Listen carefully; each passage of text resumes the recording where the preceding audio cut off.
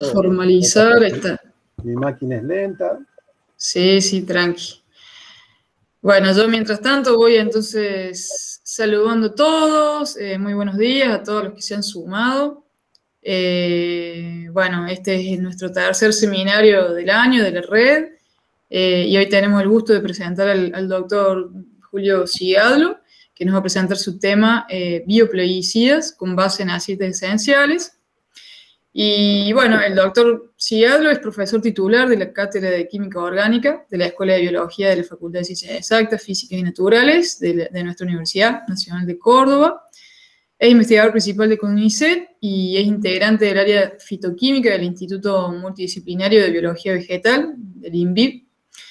También es miembro del Consejo Directivo del Instituto de Ciencia y Tecnología de los Alimentos y bueno, ha sido invitado para colaborar con numerosos grupos de investigación de instituciones privadas o públicas internacionales de República Dominicana, de Costa Rica, Uruguay, España, Alemania, eh, Portugal y Finlandia.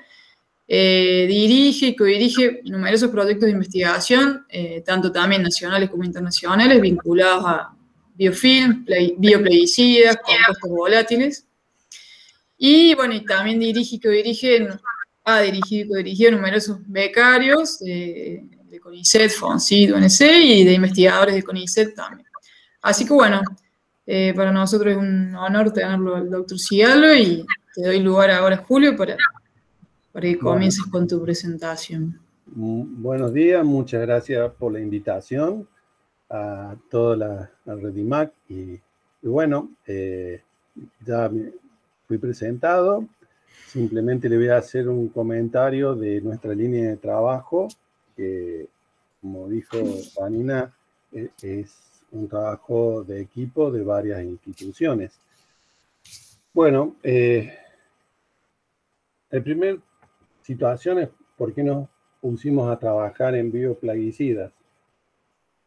De reuniones de trabajo con otros grupos y se se saca la conclusión de que hay un crecimiento demográfico sumamente importante e incluso preocupante, algo que ya se viene hablando más allá del año 1960, sobre la tasa de crecimiento que tiene eh, la población humana. Esa tasa de crecimiento que se estima que para el año 2050 puede estar superando los 7.000 7.700, 8.000 millones de habitantes, que para el 2100 se estima que puede llegar a los 100.000, 110.000 millones de habitantes, lo cual son números realmente muy importantes. A esa población hay que darle alimento, ¿no cierto? Que también hay que darle salud, etcétera, pero nosotros nos vamos a concentrar en el área de los alimentos y, de interés agropecuario. El darle alimento a esas personas es un problema porque su establecimiento requiere eh, desarrollos urbanísticos que ocupan espacio, superficie de terreno que se le quita al área de cultivo. Por otro lado, eh, las áreas de cultivos se pueden crecer. Es una de las estrategias de la mayoría de los países eh, incrementar las áreas de cultivo el principal problema que existe es este crecimiento demográfico que va a números realmente extraordinarios. De hecho, en los estudios de demografía ya se habla del suicidio africano, dado que en la región de África tiene una población juvenil de menor de 18 años que representa más del 70% de la población y sigue creciendo esa tasa. Por el otro lado, tenemos Europa, la la contraparte en donde el desarrollo demográfico es tan bajo que no tienen recambio, tienen un valor de 1,6 cuando el valor demográfico tendría que estar en 2.1. Son valores que sacan los que hacen estudios de demografía. Pero más allá de eso, también hay que tener en cuenta el desarrollo de las ciudades que ocupan terreno. Entonces, ¿cuál es la solución que buscan la mayoría de los gobiernos? Es invadir las áreas naturales. Eh, van por la invasión de las áreas naturales para producir una mayor área de eh, cultivo.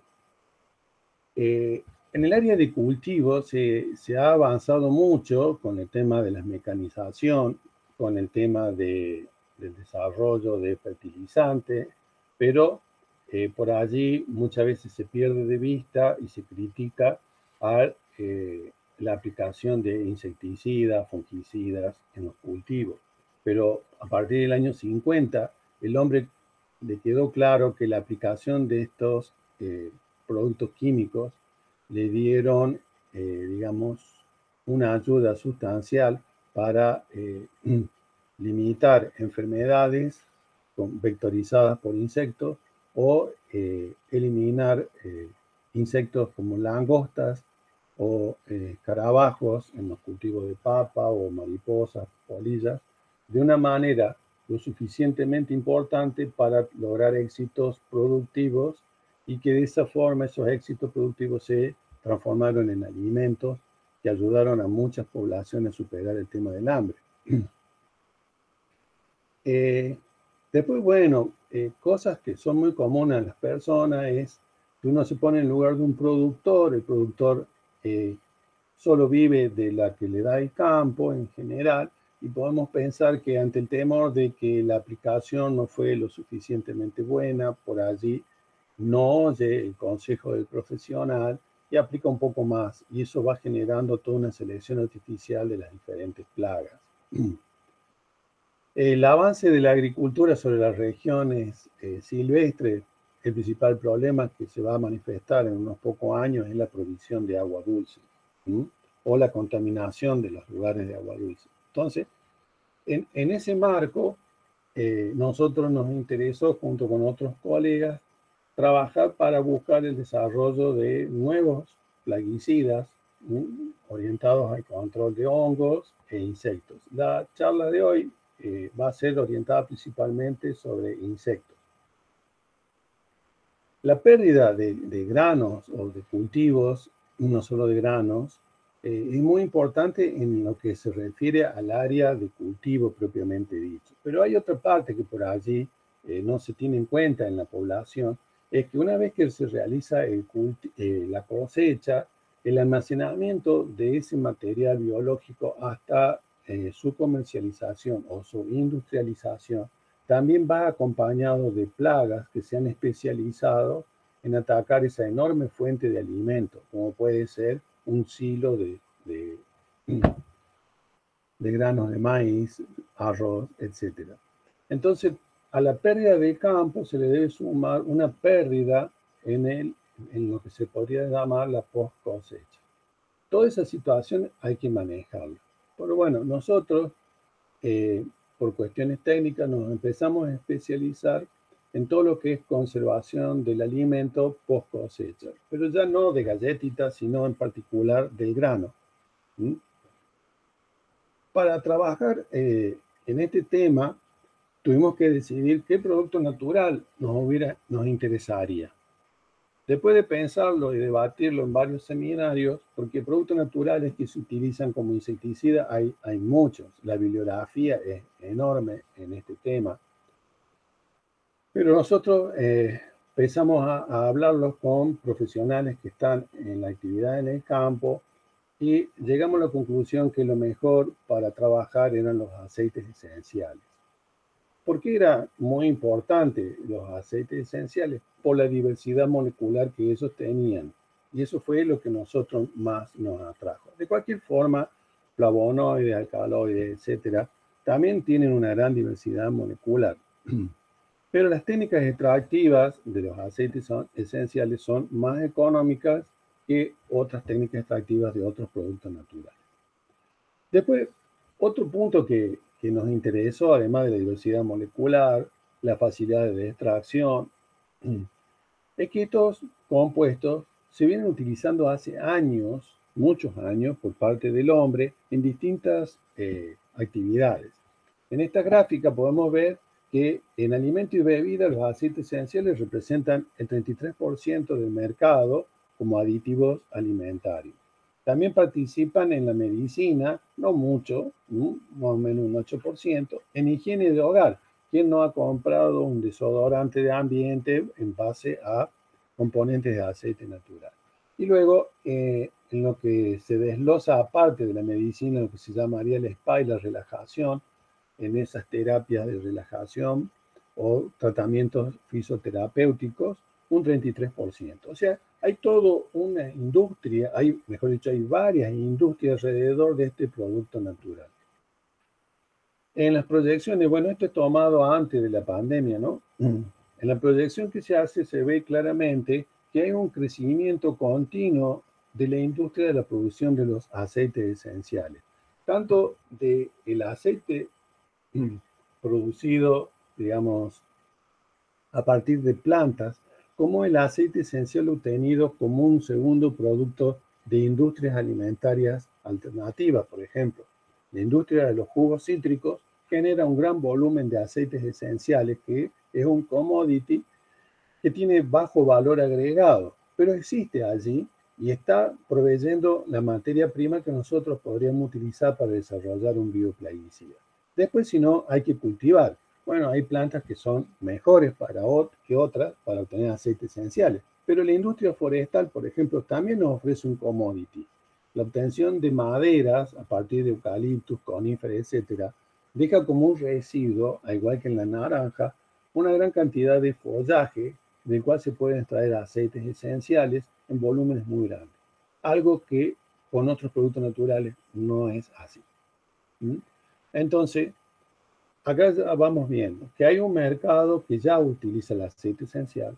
La gente utiliza aceite esencial hace mucho tiempo, por lo tanto, todo lo que es ambiente, eh, todo lo que es autorizaciones por eh, distintas organizaciones que controlan medicamentos, pesticidas, etcétera, lo toman como productos no tóxicos eh, para mamíferos en general. Y si alguno de ellos, eh, digamos, da algún mm, valor de toxicidad, generalmente están considerados como no de alto riesgo, de riesgo menores se podría encontrar. Acá en este cuadrito podemos ver la Agencia de Protección Ambiental, cómo lo consideran a los aceites esenciales en el área de la agricultura para el gobierno de Estados Unidos.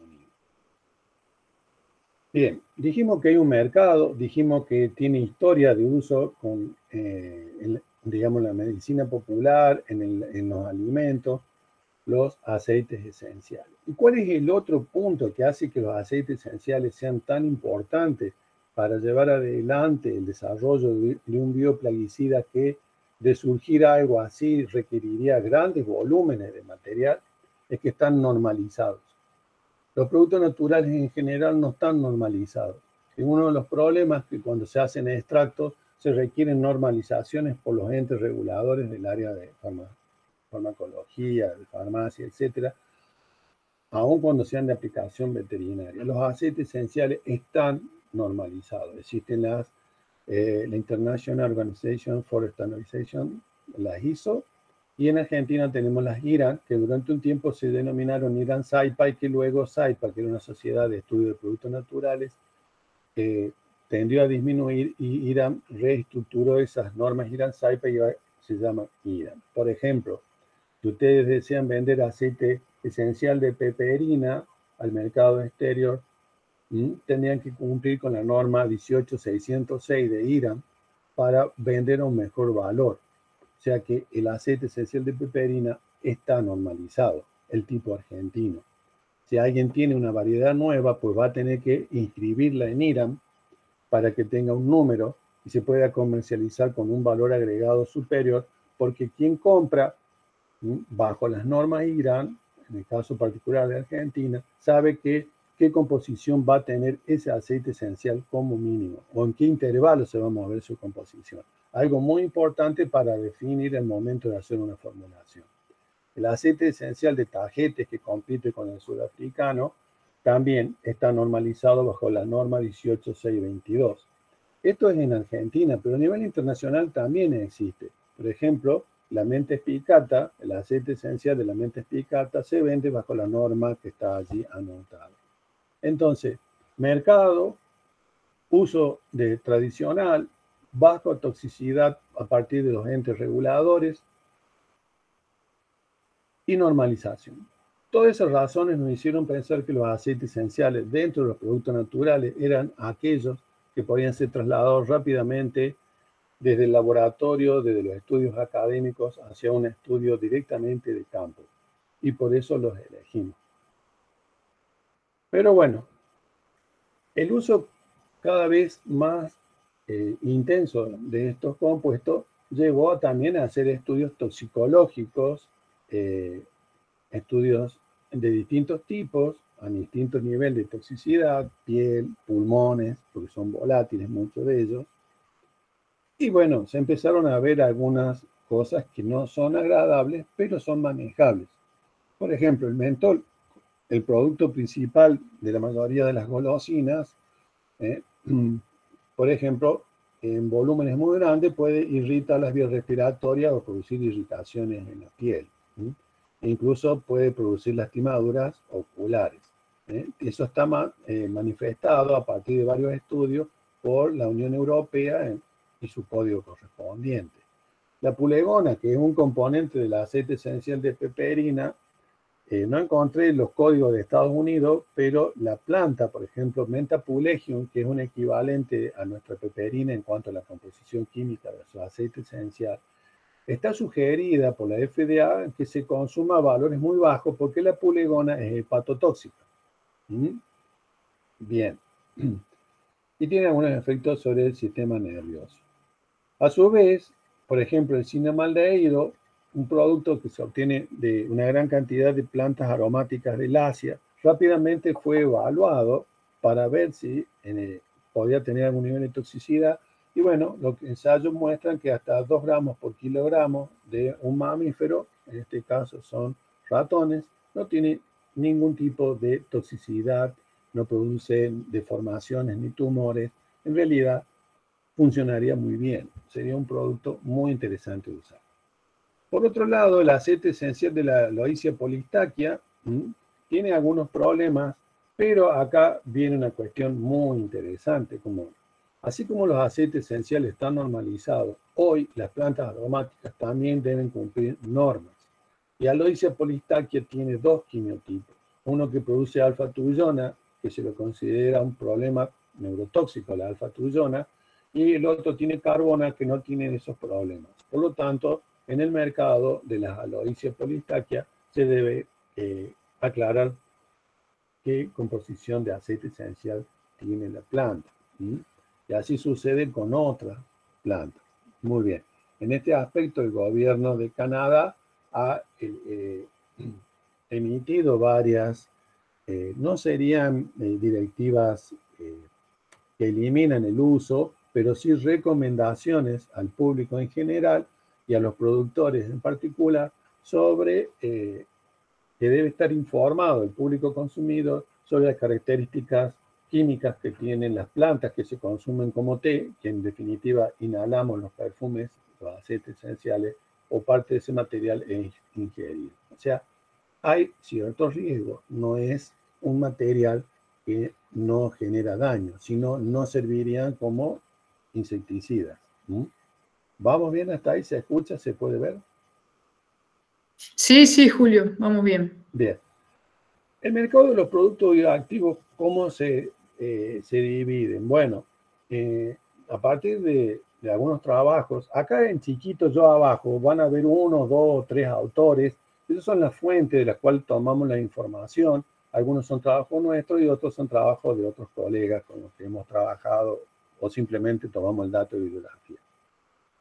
El producto en los mercados de los productos bioactivos se, se divide, ya se está vendiendo, pero guarda, cuando hablamos de productos bioactivos, en general, el avance más importante se ha hecho sobre el manejo de plagas de ambientes domiciliarios, de todo lo que es hotelería y todo lo que se refiere a esparcimiento como canchas de golf, etc todos esos lugares requieren la aplicación de eh, controladores de plagas y bueno, esas aplicaciones que se hacen son los controladores de plagas, hasta ahora se hacían con productos sintéticos. Por ejemplo, en, en algunas áreas se aplican herbicidas de origen sintético, un 61% representa las ventas. Y los productos naturales apenas un 12%. El glifosato, ¿no es cierto?, ha hecho un boom en la producción de sintético con una nueva estrategia Después están los productos naturales semisintéticos, o sea, aquellos que andaban muy bien. Por ejemplo, el, el 1,8 cineol eh, durante una época resultó un buen herbicida, luego se lo mejoró al herbicida y se lo utilizó. Pasa que, eh, bueno, en el mundo este del, desarrollo de controles de plaga, las competencias de los productos activos son muy grandes y eh, este producto semisintético dejó de utilizarse. Pero bueno, representa 28 mil millones de dólares al año aproximadamente el mercado de los herbicidas. El mercado de los fungicidas está más o menos en 18 mil millones de dólares y hay una distribución más o menos equitativa. Hay muchos productos naturales que se están empezando a aplicar, sobre todo eh, en lo que se refiere eh, en unidades habitacionales. Se, están probando nuevos productos naturales para el control de hongos. Y eh, algunos son de origen la mayoría de los productos naturales están incluidos los productos de origen biotecnológico también, ¿no? Eh, no olvidé de comentar eso. Y luego llegamos a los insecticidas, donde los productos naturales de semisíntesis, o sea, aquellos naturales que se le hacen algunos cambios químicos, son los que empiezan a ocupar un nicho mayor. A partir de la bibliografía de los productos naturales activos, los químicos empiezan a hacer cambios estructurales y mejoran el producto, bajándole la toxicidad en algunos casos a los mamíferos y mejorándola respecto a los insectos. ¿Mm? O sea, esto es más o menos eh, una proyección del año 2020. ¿Mm? Ahí lo ven el autor, que muestra cómo está el mercado global. Bueno, voy a ir contándole algunas cosas de las que hacemos eh, en colaboración con otras personas. Teratitis capitata es una de las moscas de la fruta. Y también eh, hay varias moscas, pero bueno, esta es la que afecta el oeste argentino, es controlada desde Mendoza con el desarrollo de machos estériles, etc. En un trabajo que se hizo utilizando especies de tajetes eh, para ver si se lo podía fumigar o poner eh, en trampas, pero básicamente era para fumigación. En las especies de tajetes, la mayoría de ellas tienen estas cetonas que están acá abajo. Se las llaman tajetonas, dihidrotagetona, osimenona o tagetenona debido a que son nombres de los productos naturales que derivan de la planta. La planta es tajete, los químicos de los productos naturales generalmente suelen trasladar el nombre del género o de la especie de la planta que obtiene al producto natural que ellos aíslan. De estas especies, tajete minuta y tajete rupestris, presentan estas familias de cetonas. Tajete ternifolia es muy parecida al anicillo de nuestra sierra, o tajete filifolia, o tajete fusila, tiene varios nombres, los taxónomos discuten y cambian por razones eh, totalmente válidas, pero bueno, eso también nos hace generar nombres nuevos o sinónimos. El caso de tajete terniflora se caracteriza porque no tiene esta cetona, sino que tiene estos fenilpropanoides que tenemos acá, que son dos éteres. Uno es el anetol y el otro su isómero, el estragol. Mm. Bueno, ya que estamos hablando de dos químicas distintas, una vía de los terpenos, que, eh, del ácido mevalónico, la desoxicilulosa, etcétera, y la otra que tiene que ver con la vía del psiquímico. O sea, dos biosíntesis distintas para un mismo grupo, para un mismo género de plantas, ¿no? Otra de las cuestiones interesantes es marcar que los machos son las columnas rojas y las hembras son las columnas amarillas. Podemos ver una mayor resistencia al efecto insecticida por parte de los machos de esta mosca, no así por las hembras que se muestran mucho más sensibles. Bien. La primera cuestión que, me gustaría marcar es, tanto Tajete Minuta como Rupestre que tienen estas cetonas solo se diferencian en su composición, el aceite esencial, en la concentración que tienen de la forma trans de estos componentes. Ambos plantas, ambos aceites esenciales contienen todas estas cetonas, pero los porcentajes relativos de las formas E de la acetona son más abundantes en tajete rupestre que en tajete minuta, que contiene más la forma Z que tenemos acá en color negro. Esa pequeña diferencia, posiblemente de la ubicación de un doble enlace, tal vez desde una imagen gráfica en bidimensional, uno no aprecia la disposición de la estructura en el espacio.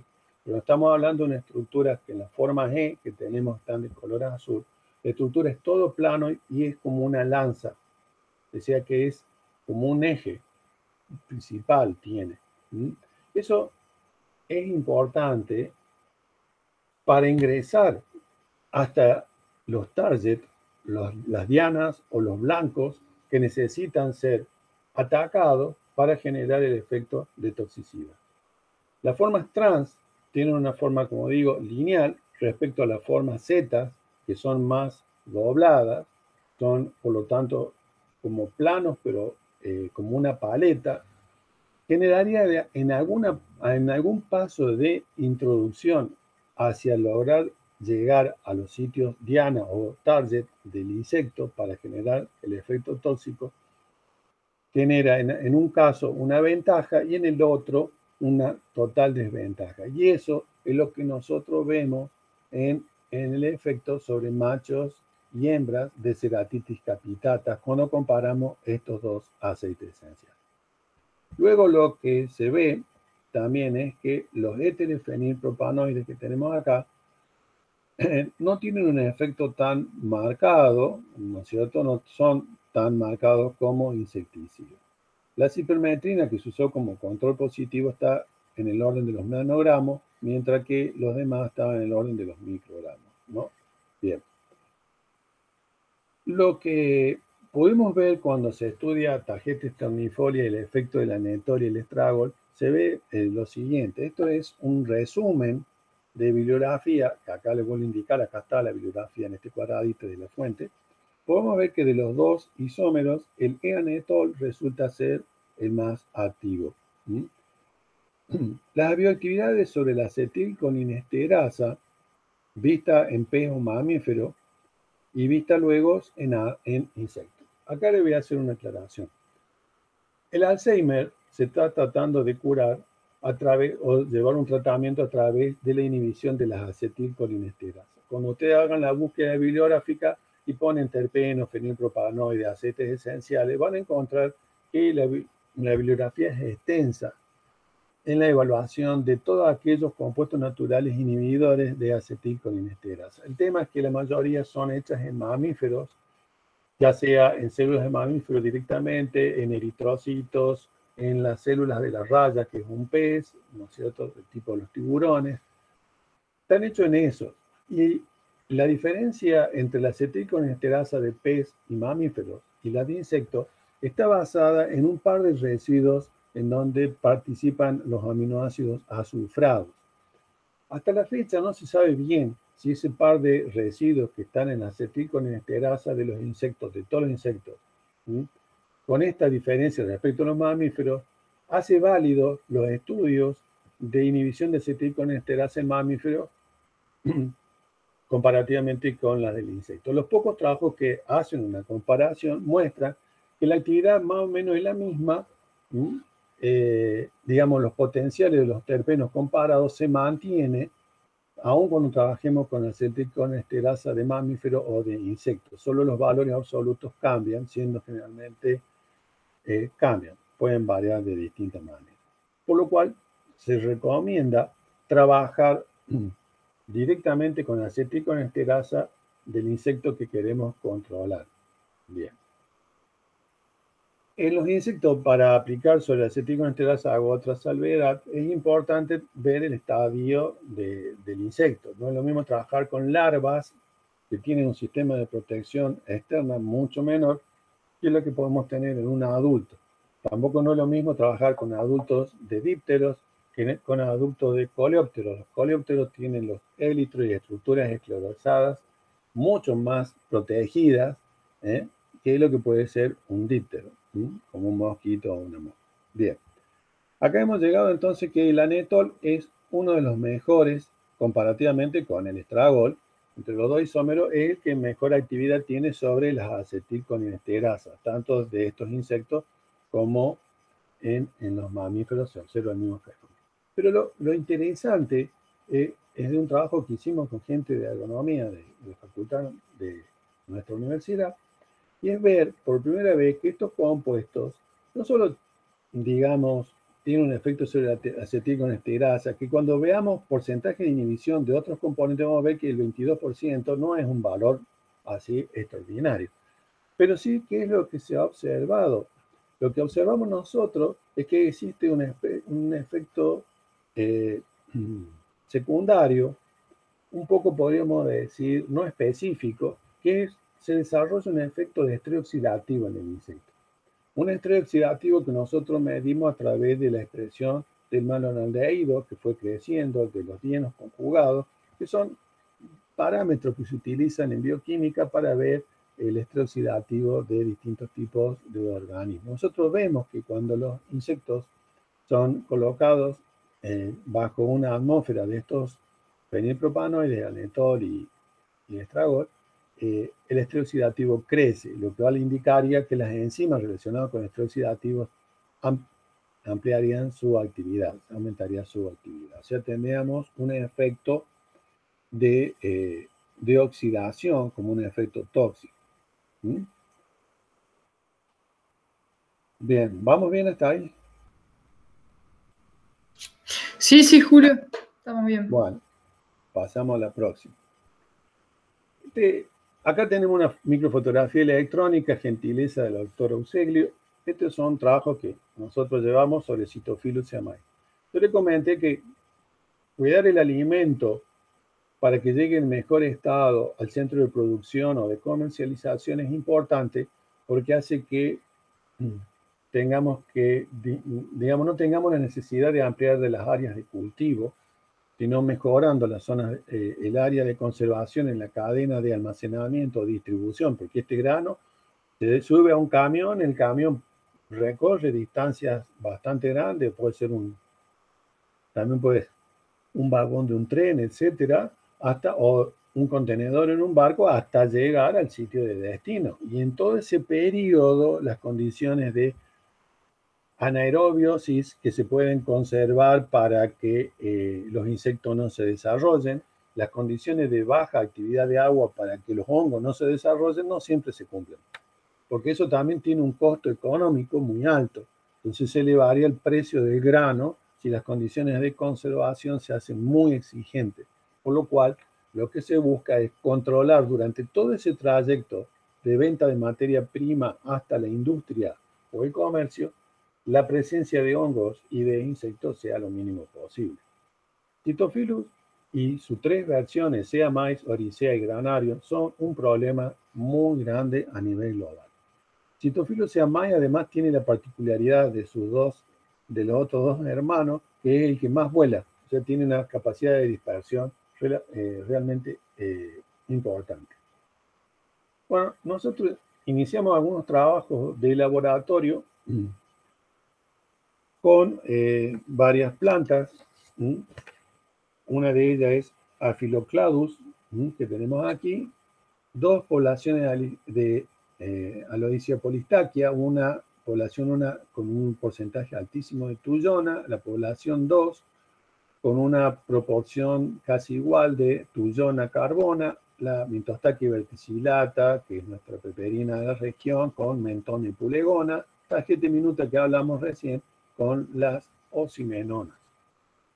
Como podemos ver, eh, la peperina es la que mejor mortalidad tiene de Cytophilus en razón de eh, una concentración de 150 microlitros por litro en un sistema cerrado, es la que nos da casi un 90%, le siguen las osimenonas.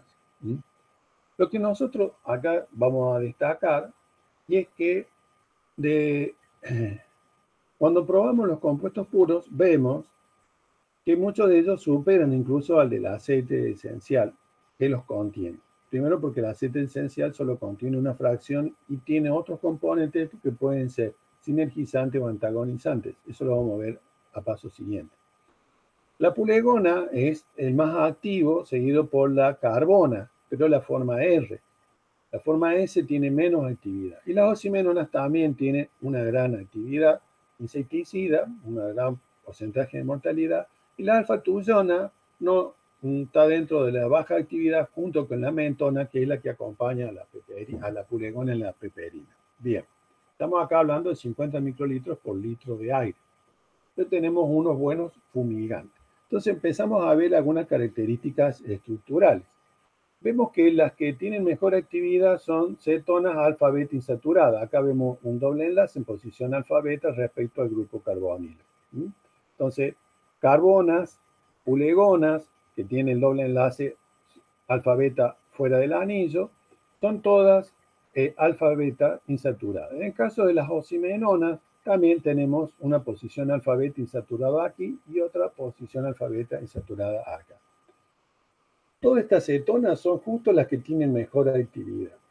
Bueno, el grupo carbonilo, en particular las cetonas alfa beta insaturadas, tienen la capacidad de pegarse, ¿no es cierto? Tiene una capacidad reactiva muy importante, no vamos a entrar a explicar toda la química de la toxicidad, pero son las más tóxicas. Si el doble enlace alfa beta insaturado se encuentra hacia la terminal del anillo, se esperaría un efecto tóxico mayor. Los aldehídos también pueden ser alfa beta insaturado, también llevan un grupo carbonilo, pero y lo podemos encontrar en aceites como el citral, el famoso aroma que es rico, el aroma a limón, es por el citral, que son aldehídos alfa beta insaturados, que son en gerania y general mezclados, que cuando están mezclados se lo denomina citral. Bien. Las cetonas que no tienen esos alfabetas, vemos como la tuyona y la mentona tienen una menor actividad. Lo que vamos a ver en el cuadrito acá al medio es lo siguiente. Cuando yo tomo la pulegona y el PBO, que es un piperonil butóxido, que se usa en el agro para sinergizar insecticidas, el clorpirifos, las deltamietrinas, el clorpirifo y las deltametrinas generalmente son desintoxicadas por un complejo enzimático llamado P450 que está presente en todos los insectos. Y además yo les debo recordar que los insectos tienen simbiontes, micro, eh, bacterias.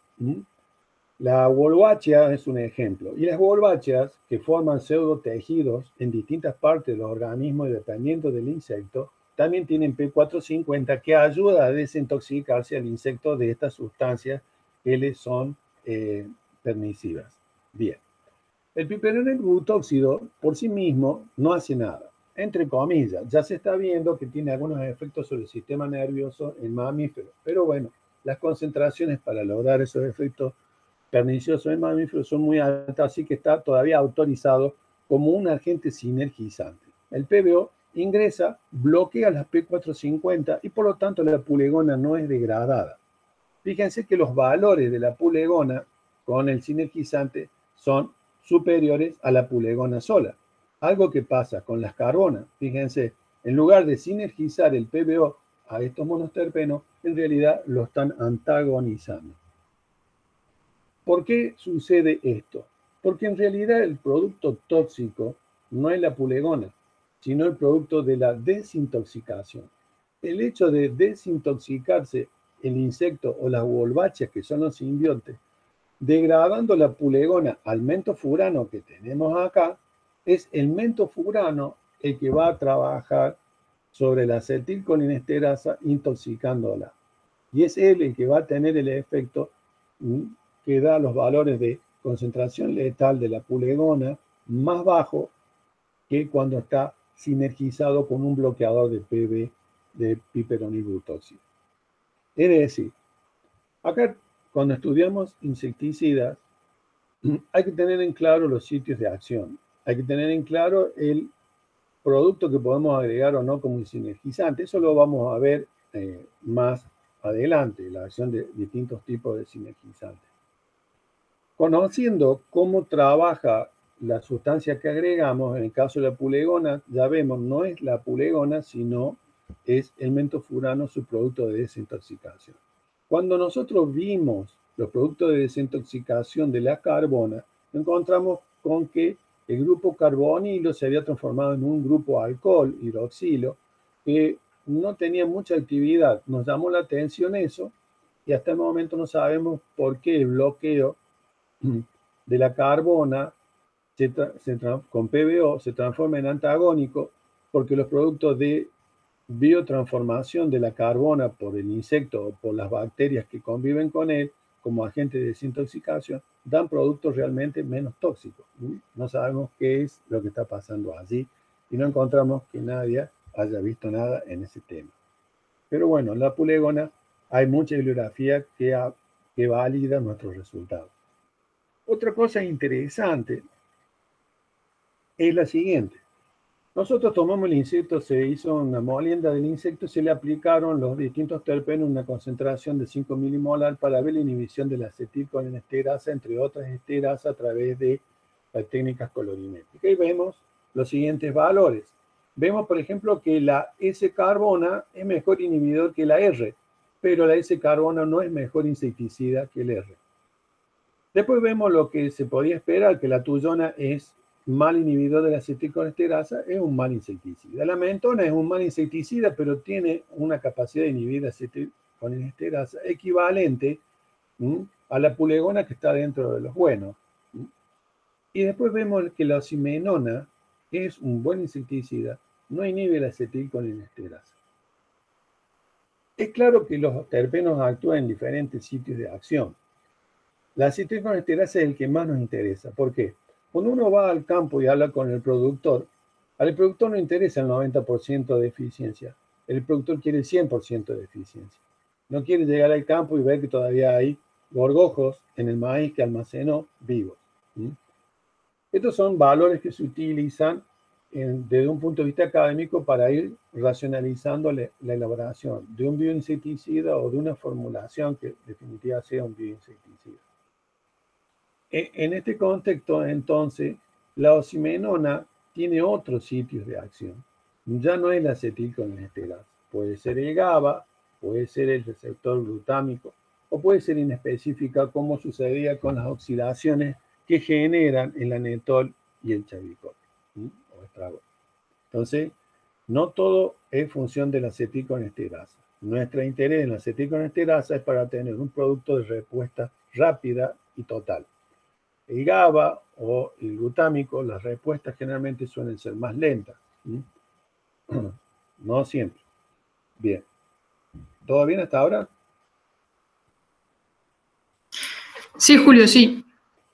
Bueno, Planococcus ficus. Es un trabajo que hemos, estamos desarrollando con varios eh, eh, gente que cultiva, que tiene viñedos en la provincia de Córdoba que ahora se ha puesto de moda el cultivo de uvas para la obtención de vinos.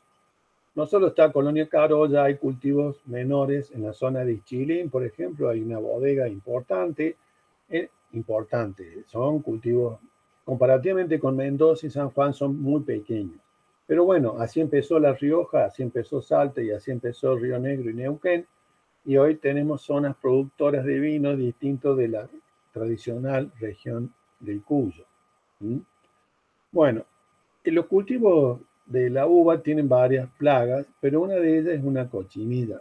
Planococcus ficus o Planococcus citri son los nombres que se utilizan. Esta cochinilla es movilizada por hormigas asociadas a ella. Existe un, eh, existe un macho alado y existe un problema grave. Las cochinillas forman una gran capacidad de cera externa una vez que se fijan, y eso es una barrera para el ingreso de los pesticidas. Esto ha llevado a la aplicación cada vez más intensa de distintos plaguicidas sintéticos con la consiguiente resistencia de eh, la cochinilla. Bueno, si la cochinilla tiene lípidos, los aceites esenciales son lipofílicos. Así que podríamos probar de usarlos en una aplicación directa. Una vez que se aplica sobre la cochinilla, acá tenemos otro problema. Mientras los, insectos de granos uno le aplica y después ve germinación para ver que no sea fitotóxico, cuando uno hace la aplicación sobre una planta verde, las estructuras de resistencia de una hoja son mucho menores que la que puede tener un grano de maíz de trigo, arroz, etc.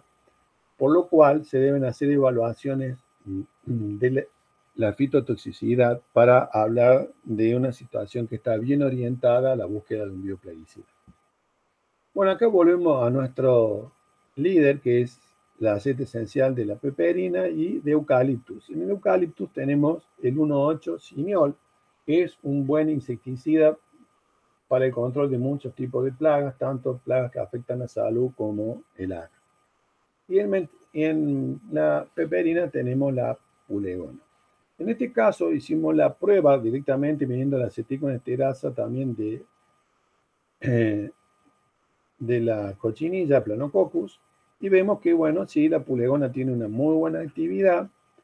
Eh, el mentofurano puesto puro no tiene buena actividad con la pulegona. Pasa que ahora el mentofurano es el principio activo o xenobiótico que ingresa al insecto y es él el que va a ser desintoxicado. Él no es el producto de la desintoxicación, sino que él es desintoxicado y bueno, todavía no conocemos lo que produce el mentofurano como producto de desintoxicación. Después vimos la mentona, que ya lo vimos anterior, tiene un efecto similar acá, bajo. El 1-cineol también es bajo. Y el 1,4-cineol, que es un isómero, prácticamente no tiene actividad. Esto, vuelvo a insistir, ya vimos que eh, la estereoquímica es un factor muy importante al momento de eh, desarrollar un bioinsecticida. Porque en el caso anterior vimos muchas cetonas son todas cetonas, pero no todas son activas por igual.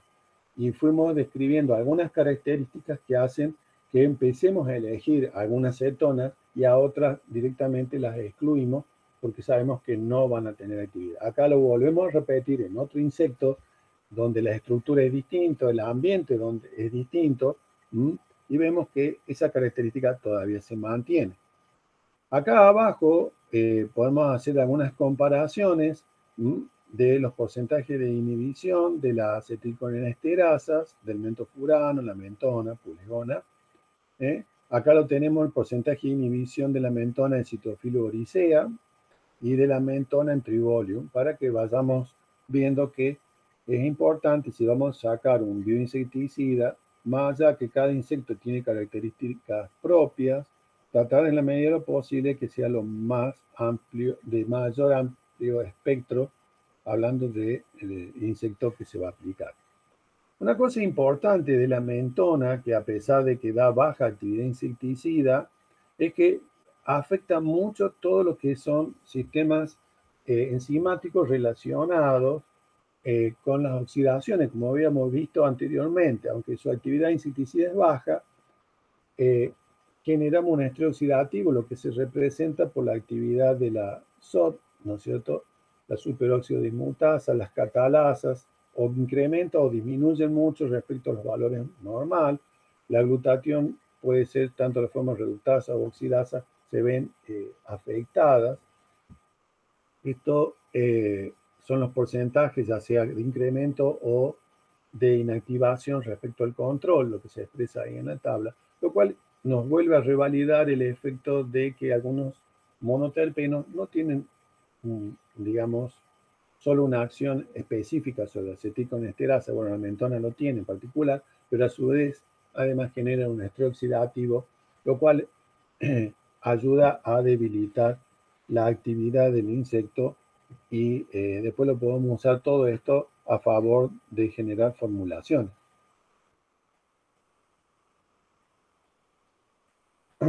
Trabajando con los criaderos de pollo de la zona de Entre Ríos, esto surge por medio de un convenio con una citrícola de la zona de Entre Ríos y después de un convenio internacional. Nos encontramos con el Fitobio diaperinus. El, el Fitobio diaperinus es un escarabajo. Es todo un problema en las zonas, en las áreas de cría intensiva de aves eh, o en, en las áreas de ponedoras. Este insecto que es de origen africano y se acomodó muy bien a las áreas de cultivo de aves, perdón, a las áreas de cría de aves.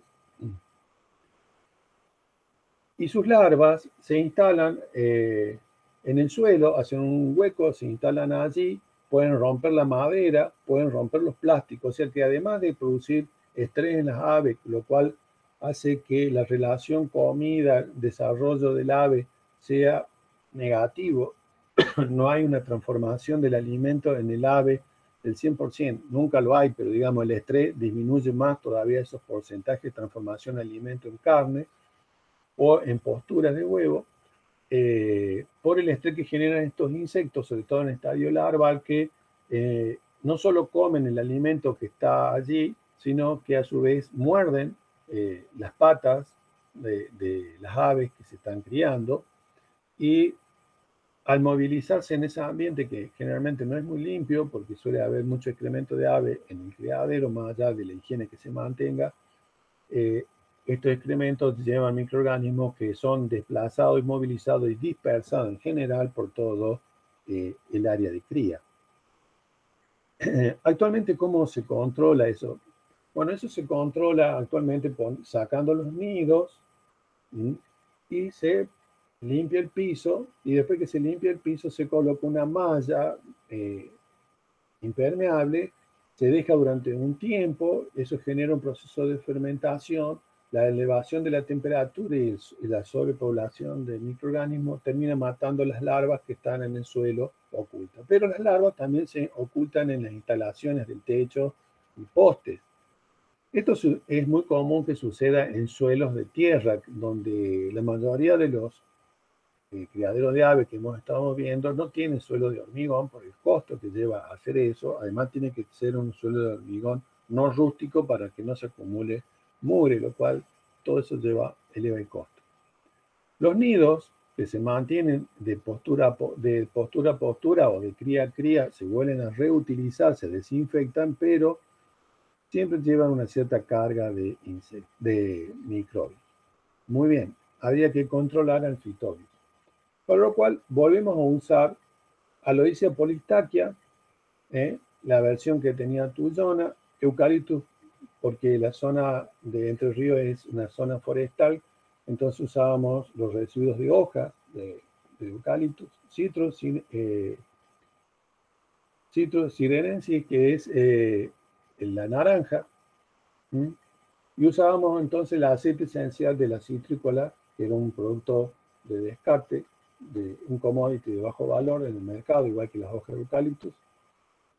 De la zona se producían orégano y de la zona de República Dominicana habíamos obtenido Syzygium aromático, una especie que se cultiva en la zona de República Dominicana, con la cual trabajamos.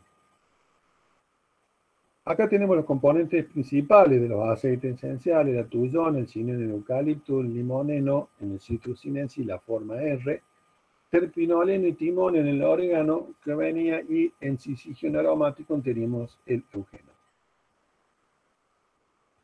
Cuando se hizo una aplicación en forma gaseosa como fumigante, bueno, los mejores fueron aquellos que presentaban tuyón en eucaliptus y un poco menos el aceite naranja. El de orégano y el prácticamente no fueron eficientes como fumigante, pero sí fueron eficientes como por contacto. O sea, que cuando fumigamos, eh, la mortalidad por contacto se incrementaba resultando bueno. Esto nos dio la idea que podíamos usar una combinación de ambas situaciones. O sea, lo que no era fumigante lo podemos aplicar como eh, un insecticida, un bioinsecticida de contacto.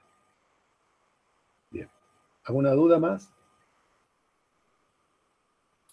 No, está bien, Julio. Sigamos.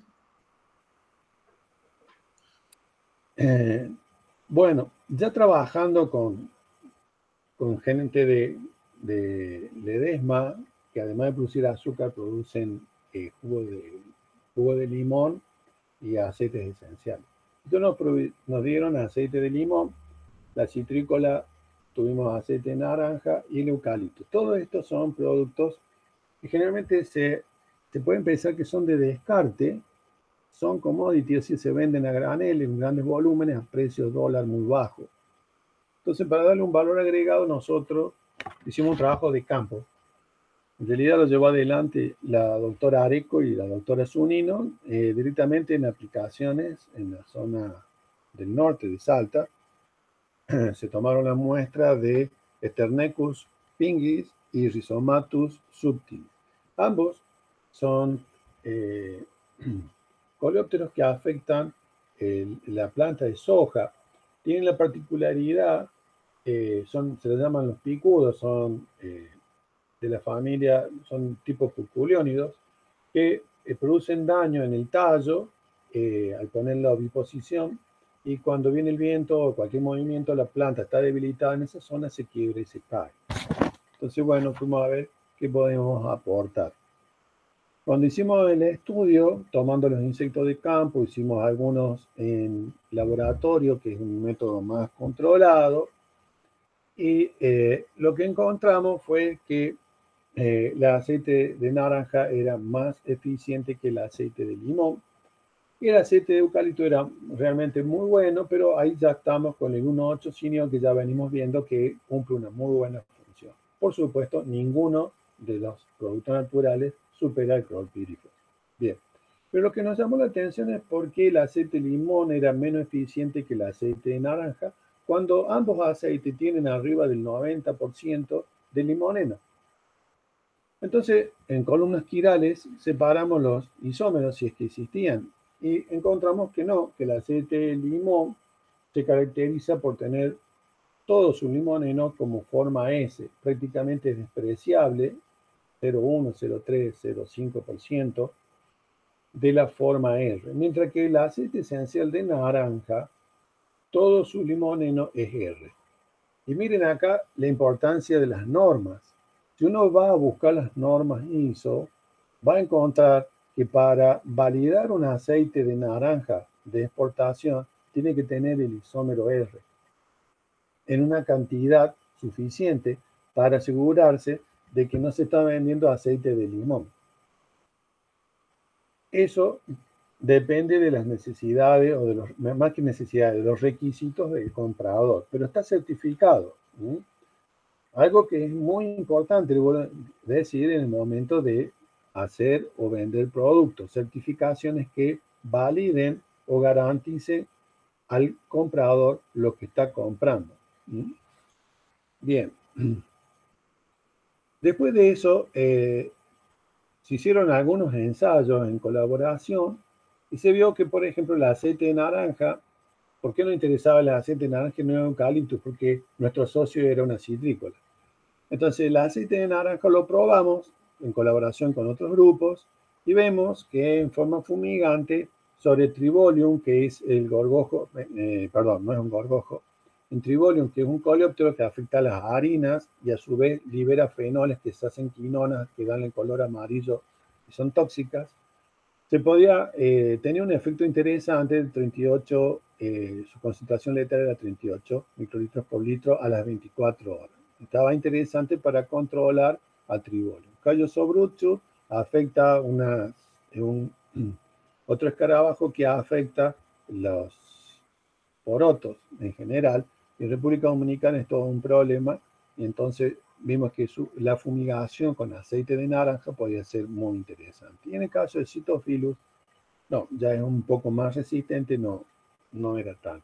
Cuando se hicieron las pruebas sobre la esterasa, se vio que la esterasa de Tribolium y Calloso Brucho eran más sensibles, se inhibían más por el aceite de naranja. Y también hicieron un trabajo bioquímico un poco más avanzado y también se vio que afectaba las ATPasas de cada uno de los insectos.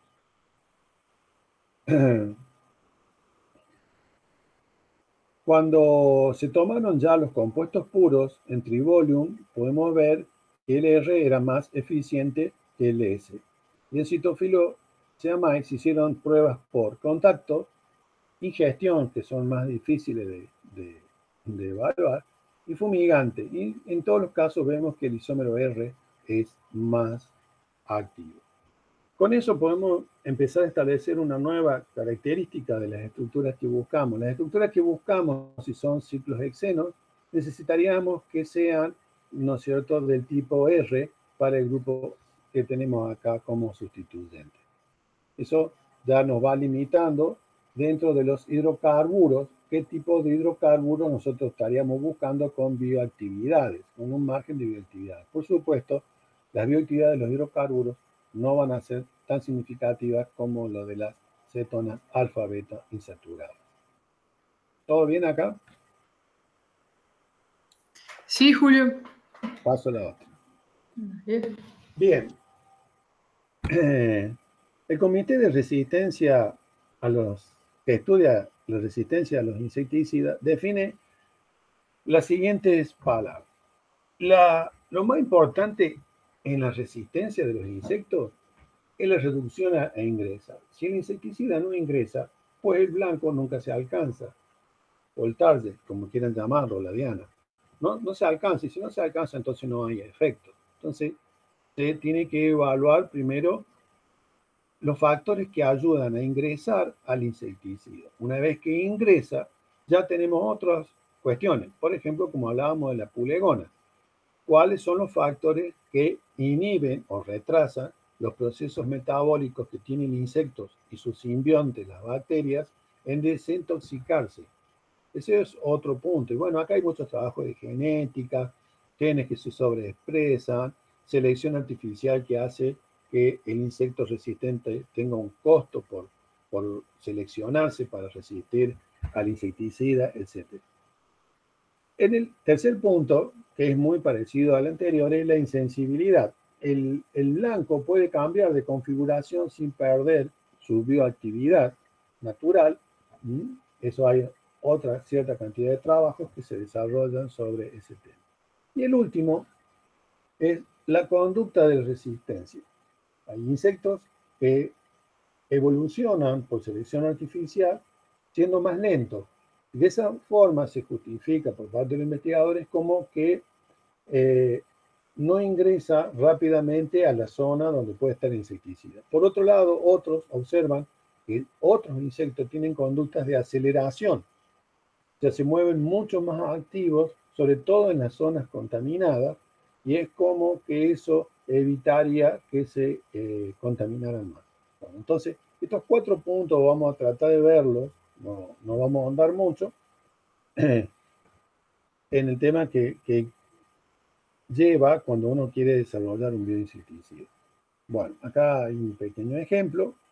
Y acá tenemos la cutícula en un esquema muy esquemático en donde vemos la epicutícula, la procutícula dividida en exocutícula, endocutícula. Acá tenemos estos círculos, estos puntos negros son los canales cortados transversalmente. Acá tenemos el canal visto de frente, la epidermis, los eonocitos, las células productoras de los lípidos. Los lípidos de la exocutícula se forman por eh, ruptura de los ácidos grasos. La ruptura de los ácidos grasos dan origen a alcanos, pueden ser lineales, ¿Todo bien? Sí, ahí se escuchó un ruido, pero, pero te escuchamos. Bueno, se pueden ramificar. Eh, y después tenemos los cuerpos grasos y las lipoforinas, que son estructuras proteicas que ayudan a, movilizar estas cuestiones. Eh, por una cuestión de que no tengo los permisos, no puedo mostrar microfotografías electrónicas de los trabajos, pero me pueden creer, y si no, acá tienen las citas videográficas, en donde, por ejemplo, los mosquitos resistentes han incrementado la producción de ceras en su cuerpo. Entre las formas resistentes tienen 980 nanogramos por miligramo de mosquito, mientras la forma no resistente alcanza en los mejores de los casos 760 nanogramos. Además, las ceras no se disponen uniformemente en el insecto. Hay insectos que son caminadores, entonces la mayor concentración de seda o sea, de la concentración de seda en toda la cutícula está en las patas. Otros lo tienen en la zona de, eh, la cabeza ¿eh? o en las regiones abdominales si son eh, larvas. Entonces, eso por un lado. Bueno, uno puede pensar que la cutícula entonces está solo formada por cera si tengo compuestos lipofílicos se van a incluir en ella. Bueno, el razonamiento por ahí va bien, pero la eh, cutícula también tiene lo que podemos ver, eh, quitina, un polisacárido. Este polisacárido se extiende eh, como una red, formando una red entre los lípidos e interaccionando con los lípidos a través de fuerzas de Van der Waals. No son fuerzas coexivas muy fuertes, pero lo suficiente para estabilizar la estructura que estamos viendo en el exoesqueleto. ¿Cuál es la importancia de la quitina? Además de ser estructural, la quitina tiene la particularidad de reaccionar con residuos de eh, proteínas, de aminoácidos, de proteínas que también son por las, lipo, por las lipoporfirinas que recién mencioné, son incluidas en la cutícula. Y los aminoácidos de tipo de la fenilalanina o la tirosina tienen la capacidad de reaccionar con esos residuos de los glúcidos de la quitina y formar uniones. Eso hace que los lípidos actúen como la matriz semisólida que contiene la quitina, en muchos casos. Yo estoy generalizando, cada insecto tiene su distribución y su química. Y luego las proteínas actúan como enlaces de esas fibras de quitina, quedando una estructura rígida con porosa como una red de poros pequeños. A su vez, la tirosina tiende a oxidarse y toma color oscuro, y eso es muy fácil de observar en las cabezas de las larvas, como se están quitinizadas y tienden a colores oscuros, o en, en las estructuras de eh, insectos como escarabajos, en las cucarachas, etcétera, en donde esa estructura se toma coloración. A veces puede ser oscura, marrón, o puede tomar colores rojos. Está todo asociado con los productos de oxidación de estos aminoácidos aromáticos que dan catecoles y quinonas, y son esas quinonas las que tienen colores. ¿Estamos? Bueno, todo eso es lo que debemos superar. Cuando pensamos que esto era la química de la cutícula, nos encontramos que los insectos tienen unos muy buenos amigos. Yo ya le comenté de la volvacha como agente de detoxicación, es una bacteria y hay otras bacterias que tienden a formar y se transmiten de madre a través de los huevos o a las larvas, pero generalmente a través de huevos, de la madre a su descendencia, esas volvachas o esas bacterias simbiontes, que en aquellos casos actúan aportando su P450 para desintoxicar al insecto. Bueno, ahora tenemos otras bacterias simbiontes como Candidatus nardonella y Sodalis pierantonius, que se caracterizan por producir aminoácidos aromáticos en exceso para incrementar frente a una situación tóxica la red que se forma entre las proteínas y la quitina y los lípidos y disminuir el tamaño de los poros. No se olviden que los insectos tienen que mudar y tienen que reconstruir. A su vez, crecen y tienen que volver a reconstruir, o sea que la cutícula es un sistema dinámico. Con la presencia de estos simbiontes, los insectos consiguen obtener una mejor calidad de su exoesqueleto. Bien. Vamos bien. Sigo porque esto se me fue largo, ¿no? sí, sí, seguí, seguí, Julio. ¿no? me echaron, avisen. No, no, no, no, hay, hay, hay, muchos asistentes, no estoy yo sola, quédate tranquila. Bueno, eh, los primeros trabajos que perciben que hay un problema en la cutícula entre las resistencias es un trabajo del año 61 de Armstrong, que es lo que vemos arriba. En, los años 50 los primeros insecticidas fueron el DDT y, y los gamma hexaclorados, etcétera, que generaron la maravilla en la producción agropecuaria, eliminando una gran cantidad de plagas de importancia agropecuaria y en la salud. Básicamente el DDT terminó con el problema de eh, las enfermedades transmitidas por mosquitos o la mosca del sueño en la zona de África y la India, reduciendo a solo un 5% las víctimas de un año para el otro. Eso, si pensamos que las muertes eran cerca de 10 millones de habitantes entre India y África, eh, era un valor importante. Y por eso se le dio un premio Nobel al que desarrolló el DDT. En realidad no al que desarrolló, sino al que lo transformó en insecticida. Muy bien. Con los hexaclorados eh, también se logró una maravilla en los años 50 respecto a esto, pero resulta que el producto de, de síntesis era una mezcla de isómeros. Entonces ellos se dan cuenta que luego de separar isómeros, que no es una tarea fácil, sobre todo de una sustancia tóxica, encontraron con que el que mejor funcionaba era el gamma, el isómero gamma. Entonces, cuando hacen un estudio sobre citofilus, que siempre es un problema, ellos estudiaron los isómeros que quedaban en la cutícula y los isómeros que ingresaban al insecto, que en realidad los que llegaban a ingresar eran los que iban a producir la mortalidad, el efecto tóxico. Y vieron que la forma, los isómeros alfa y beta, no solo no se adherían a la cutícula, sino que tampoco ingresaban.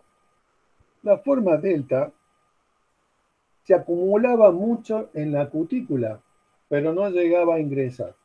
Y solo el isómero gamma tenía un equilibrio entre lo que se solubilizaba en la cutícula y lo que ingresaba. Esto claramente empezó a mostrar nuevamente, a remarcar, la importancia de la estereoquímica y la importancia de superar la gran barrera que es la cutícula. Esto ya más moderno sucedió cuando se estudian las deltametrinas. Las deltametrinas se, se siguen utilizando combinadas con el PBO, eh, en algunos casos se recomienda con el clorpirifos también. Eh, esto ya está hecho en larvas y se observa que la forma sensible es aquella que deja ingresar la mayor concentración de deltametrina, mientras las formas resistentes que se encuentran en China y en Pakistán son aquellas cuya cutícula en la larva se ha modificado de tal manera que no deja ingresar eh, la deltametrina que es el agente insecticida. Bien. Y acá entendemos esto, pues entonces ¿Qué pasa con los aceites esenciales como agentes sinergizantes? Es decir, tal vez los aceites esenciales no todos sirvan como insecticidas propiamente dicho, pero podemos reemplazar al piperonil butóxido, que tenemos acá dibujado, por algunos de nuestros componentes de aceites esenciales o por aceites esenciales directamente. En el primer cuadro que vemos acá arriba, vemos Trogoderma granarium. Y vemos dos poblaciones que se estudian. Fíjense la delta metrina, la dosis que se deben aplicar para poder tener un efecto de dosis letal. sin lugar a duda, la población 1 tiene una elevada resistencia. Esa resistencia en trogoderma está básicamente, pido disculpas, pero no puedo mostrar la foto porque no consigo las autorizaciones, en el, en el espesor de la cutícula. Es increíble cómo se puede ver, ahí pueden ver las, las fuentes, pueden acceder ustedes, eh, cómo se puede observar por la microfotografía electrónica o simplemente de, común, cómo ha crecido el espesor en estos insectos resistentes. Pero luego se aplican aceites esenciales y vemos que mejora, porque el LOCP, o sea, la relación octanol-agua, que es una forma de medir la capacidad de una sustancia de ser hidrofílica o lipofílica, para los aceites esenciales tiende a ser más lipofílica. Y podemos ver que ha mejorado, o sea, claramente los aceites esenciales han ingresado. ¿Qué tienen estos aceites esenciales como componente principal? El de citratus tiene citral, geranial y neral, son los dos isómeros. Fíjense, son grupos carbonilos, alfabeto insaturado. Ya habíamos dicho que ese tipo de estructura tiene un nivel de toxicidad importante. En el citrus canfora, el componente principal es el alcanfor. ¿Mm? Bien. Cuando hacemos una mezcla 1-1-1, volumen-volumen de todo, los componentes que tenemos anteriormente, podemos ver que la dosis letal 50 mejora sustancialmente. Este mensaje es, de este resultado, es los aceites esenciales mejoran el camino para el ingreso de la delta metrina. Entonces, pueden ser un excelente agente sinergizante.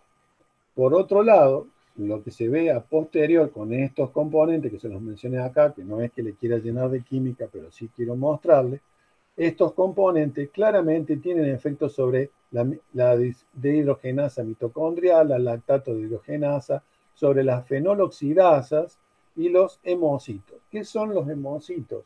Son unas células que funcionan en, el, en, la hemolinfa del insecto relacionadas con el sistema inmunitario. Y los terpenos, una vez que ingresan de manera inespecífica, afectan a estos hemocitos y entonces el sistema inmunitario decae. ¿eh? Es como si fuera eh, un efecto como hace el virus del HIV, eh, que es, afecta el sistema inmunitario. Bueno, los terpenos, esto al afectar los hemocitos, estarían afectando el sistema inmunitario, bajando así las defensas y por lo tanto se eleva la letalidad de estos compuestos. Bien. Entonces ya tenemos un ejemplo, ahora vamos a mostrar otro, en donde los aceites esenciales son buenos sinergizantes de algunos eh, insecticidas sintéticos. Yo eh, destaco esto porque no hay que, hay que reconocer, no hay que ser ingrato con la síntesis de los insecticidas sintéticos que han dado alimento hasta la fecha a, mucha, a una gran parte de la población, si no a toda. Entonces, si el problema es su alta concentración que contamina el suelo, el agua y el aire, pues entonces bajen su concentración usando sinergizantes. Yo creo que una de las mejores estrategias es contar con un compuesto de alta eficiencia letal y bajar su dosis para evitar, para corregir los errores que fueron hechos en el pasado por una aplicación eh, descontrolada y, digamos, y no siguiendo las instrucciones del profesional. Muchas veces pasa eso, al menos por lo menos es lo que yo veo en nuestro campo. Bien, tenemos el piperonil butóxido, pero naturaleza nos da una gran diversidad de estructura y dentro de los aceites esenciales tenemos los aceites de las pimientas, en este caso Piper aduncum, en donde tienen moléculas de este tipo, el dilapio, que no solo tiene un valor sensorial en la industria de los alimentos, sino que tiene una estructura parecida al piperonil butóxido. Cuando yo utilizo el aceite esencial de Piper adencum, que lo tengo acá, sobre las larvas de Spodoptera frugiperda, puedo ver que tiene una actividad bastante interesante, una dosis letal de 2. La alfa-cipermetrina para esta larva es de 2. Bien, si yo mezclo la, aceite, eh, perdón, si mezclo la alfa-cipermetrina con la mitad de la dosis letal del aceite esencial, miren los valores que obtengo. Si lo mezclo con el PBO, obtengo valores mejores. Eso es cierto. Pues ya le comenté que el PBO está siendo revisado. Entonces, nadie, nadie, por lo menos hasta la fecha, va a negar que el piper adencum no sea un aceite tóxico, porque se usa en la industria de los alimentos, ya la gente lo come como un aromatizante, ya sea porque ponen las hojas que tienen el aceite o porque lo usan en distintas formas como fragancias de hogar. Entonces eso salva muchos pasos protocolares para llegar a un principio activo.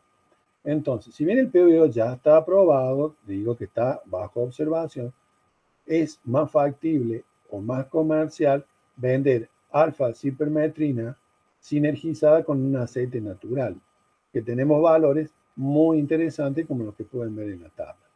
¿Y por qué resultan mm, tan interesantes, además de lo que vemos que el núcleo dioxol junto con el benceno. Es, sin lugar a duda, el que genera esa toxicidad y genera también, eh, digamos, la acción sinérgica. Los químicos que se ponen más curiosos y quieren ver cuáles son los cambios estructurales, encuentran que si ponemos grupos éteres mm, acá en estas posiciones o grupos alquilos que no superen cadenas de 4 o 6 átomos de carbono, las potencias pueden cambiar para, un mejor, para una mejor bioactividad. Por eso los productos naturales de semisíntesis van creciendo rápidamente en el mercado.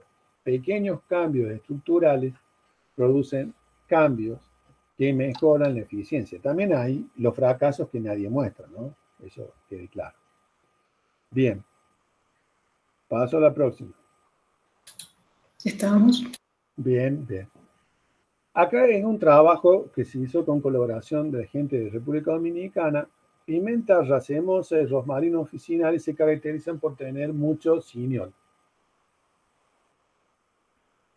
Y tienen una actividad sobre el citofilo bastante interesante. Citrosinensis ya no tiene la actividad que habíamos visto antes en otros insectos y tienes el limón ¿no? que habíamos hablado. Entonces lo que se hizo, bueno, si sinergizamos compuestos sintéticos, ¿por qué la mezcla de aceites esenciales no puede sinergizar la actividad? Ahí existe en ecología un índice que se denomina de Shannon.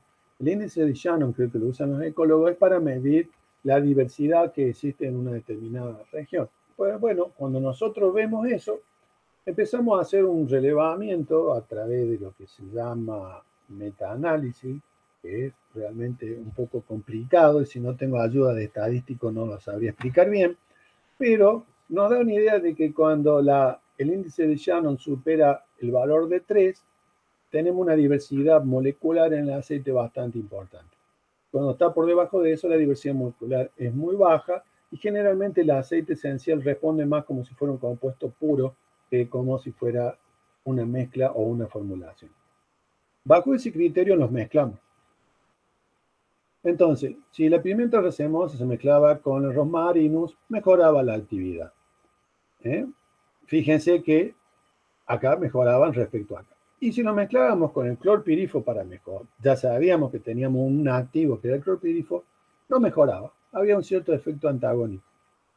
Si, usábamos eh, pimienta racemosa y citrosinensis, la mezcla de los aceites era buena, un poco mejor que cada uno individual, pero no mucho. Pero si le poníamos un principio activo, eh, como el clorpirifo, la actividad se incrementaba muy, mucho, eh, de una manera que nos llamó la atención. Entonces, acá la mezcla de los aceites facilitaban muchísimo la actividad de un principio activo que le costaba llegar hasta su target. Eso es muy importante. Cuando hicimos la mezcla usando rosmarino officinalis y citrus sinensis, lamentablemente vimos que era antagónico al clorpirifos. Lo que al principio especulábamos como que mejoraba el ingreso de la cutícula no tendría que haber sido la causa, porque rosmarino y pimienta racemosa, los principios y la composición eran más o menos parecidas. Pero bueno, todavía estamos preguntándonos por qué da antagónico. Esto es importante cuando se hacen la formulación. En el caso de Alphitobius diaperinus, la mayoría de los productores aplican una cipermetrina y tienen ya resistencia a la cipermetrina.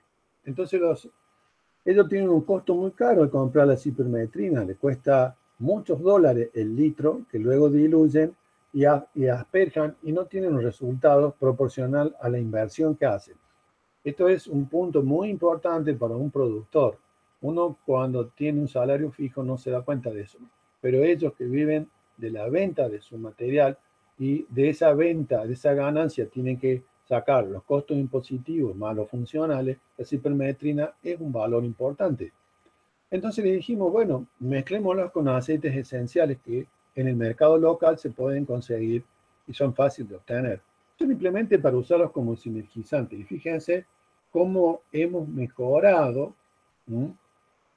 usando aceites esenciales de la zona, porque Tarjeta Minuta también, que es en la zona de Entre Ríos, y eh, el Paico, ambrosoide acá es el Paico, que cambió el nombre, antes era que no podía un ambrosoide, pero ahora le han cambiado el nombre, no, no lo recuerdo el nombre nuevo, de la planta de Paico, que es una maleza.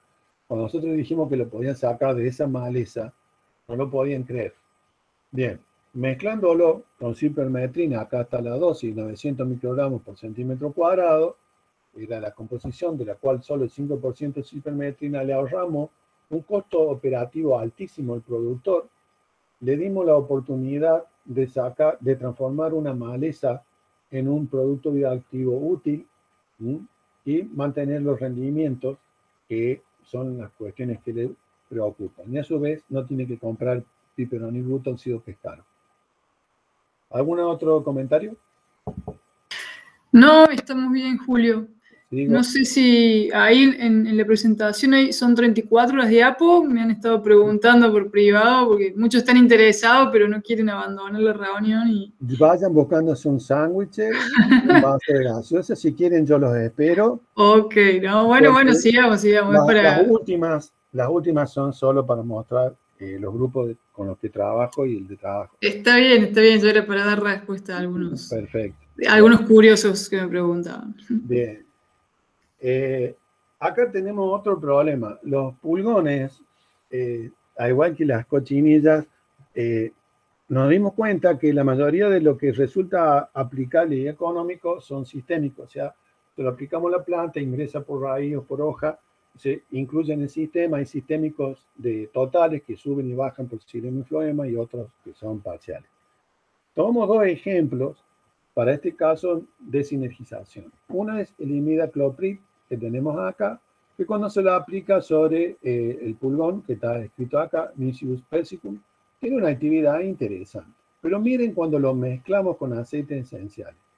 Lipia angustiflora y tajete, eh, perdón, Timus vulgaris. Timus vulgaris se utiliza por tener timol.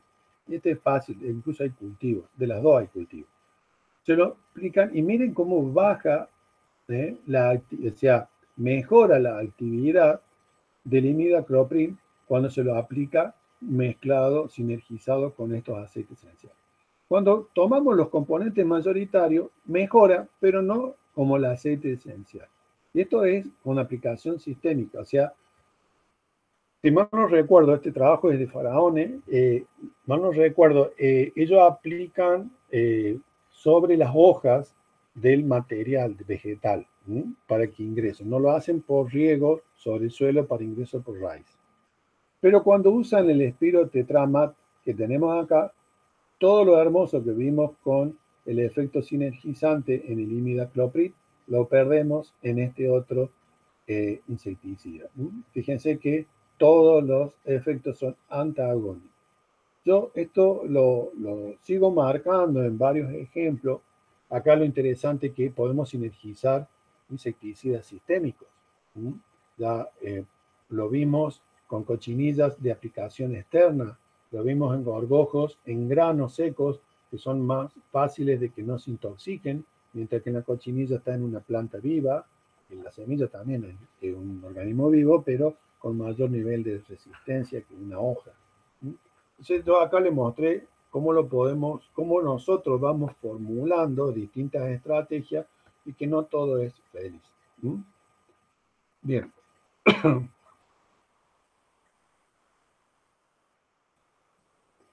Si bien en los casos anteriores yo le daba algunos ejemplos de aceite de terpenos solos, que eran componentes principales de un aceite esencial, en esta parte yo le voy a mostrar monoterpenos solos o fenilpropanoides, pero ya puros. Como hay una industria importante de los aceites esenciales, separar las fracciones tiene un costo económico, energético básicamente, pero se puede hacer. Incluso se hace industrialmente para sacar algunos principios activos. Estos compuestos que tenemos acá tranquilamente podrían utilizarse como sinergizantes, pero son muy parecidos con el núcleo benceno y dioxol al piperonil butóxido. O sea que estos son sinergizantes, estos terpenos, eh, no son terpenos, son fenilpropanoides, perdón, son excelentes sinergizantes. Pero ¿qué es lo que me interesa acá? No es la sinergia, sino el tiempo. Los terpenos son volátiles. La mayoría de la gente cree que son muy volátiles. Fíjense en la presión de vapor que tienen a presión atmosférica y temperatura normal, y van a ver que no son tan volátiles. Lo que sucede es que cuando una sola de esas moléculas pega en nuestro receptor olfativo, nos da la sensación de que estamos frente a un bosque de pino y en realidad solo nos pegó una molécula de pineno. O sea, nuestro sistema sobredimensiona el efecto aromático, a pesar de que no somos microosmáticos, perdón, macroosmáticos como las, son las ratas, que las ratas tienen una diversidad de sensores para el aroma que nosotros envidiamos, como los perros o los cerdos. Nosotros no tenemos tantos sensores, pero el poco que nos pega nos da una sensación de sumo placer y relacionamos con imágenes visuales, ya que somos principalmente visuales. Bueno, eh, pero no son tan volátiles, pero se pierden, se pierden, eh, se pierden cuando se aplican, muchos de ellos más fácil que otros. Los más resistentes a quedar en la superficie son aquellos que pueden formar enlaces químicos mejores, ¿eh? como son alcoholes, fenoles y algunos de otros. En este trabajo lo que se destaca es que las, los dos compuestos de arriba, la isoazarona y la saricina, tienen buen efecto, como podemos ver en citofilos adultos, Rhizoperta dominicana y Plodia interpuntela, en tercer estadio larva. Tiene un efecto interesante, podemos decir, están por debajo de 50 microgramos por mililitro en forma fumigante. Pero la transarona, no, la transarona, como podemos ver, no tiene un efecto de ese tipo. Pero si nosotros aplicáramos una combinación binaria de transazarona con cualquiera de ellos, lo que nosotros podemos ver que al cabo de 60 días la transazarona tiene un 100% de mortalidad. ¿Qué significa? La transazarona no se vuela, se queda pegada a las superficies o a la superficie del insecto. Puede aplicarse y al cabo de 60 días logramos un 100% de mortalidad. O sea, yo aplico hoy, fumigo y al cabo de 60 días yo encuentro que toda la población de insectos está muerta. Y eso se logra, según las explicaciones de eh, los autores de Amat por, ¿eh? es que este doble enlace que tenemos acá, que no se observa allá, le quita bioactividad, pero le da permanencia a la estructura de la transazarona, por lo cual es muy interesante para usarlo en el tiempo. yo aplico y espero que mi insecticida, mi bioinsecticida, sea, tenga un largo tiempo de efectividad. No se olviden que muchas de estas moléculas se degradan por acción de la luz. Acá la estructura aromática es un protector estructural contra la fotooxidación y de esa manera puede permanecer en ambientes abiertos y expuestos a la luz sin degradarse y manteniendo su bioactividad. Eso es un punto importante. Después vemos que la saricina y la isoazarona tienen eh, distinta capacidad de inhibir la actividad con esterasa, bastante importante, están arriba del 70%, eh, lo cual es muy bueno, son para tener en cuenta. Entonces, ¿qué planta buscaría yo? Las pimientas. Ya vimos que hay algunas pimientas que no tienen estas moléculas, pero hay otras que sí. Además, no siempre la busquen en las hojas. Hay plantas que tienen los aceites esenciales en las semillas, la zanahoria, y hay plantas que tienen los aceites esenciales en las raíces, porque el insecto que le molesta son los, los rizotopos o, otros parásitos, como pueden ser nemátodos, o sea, fitopatógenos, etc. Entonces, sus bioactividades las concentran en raíces.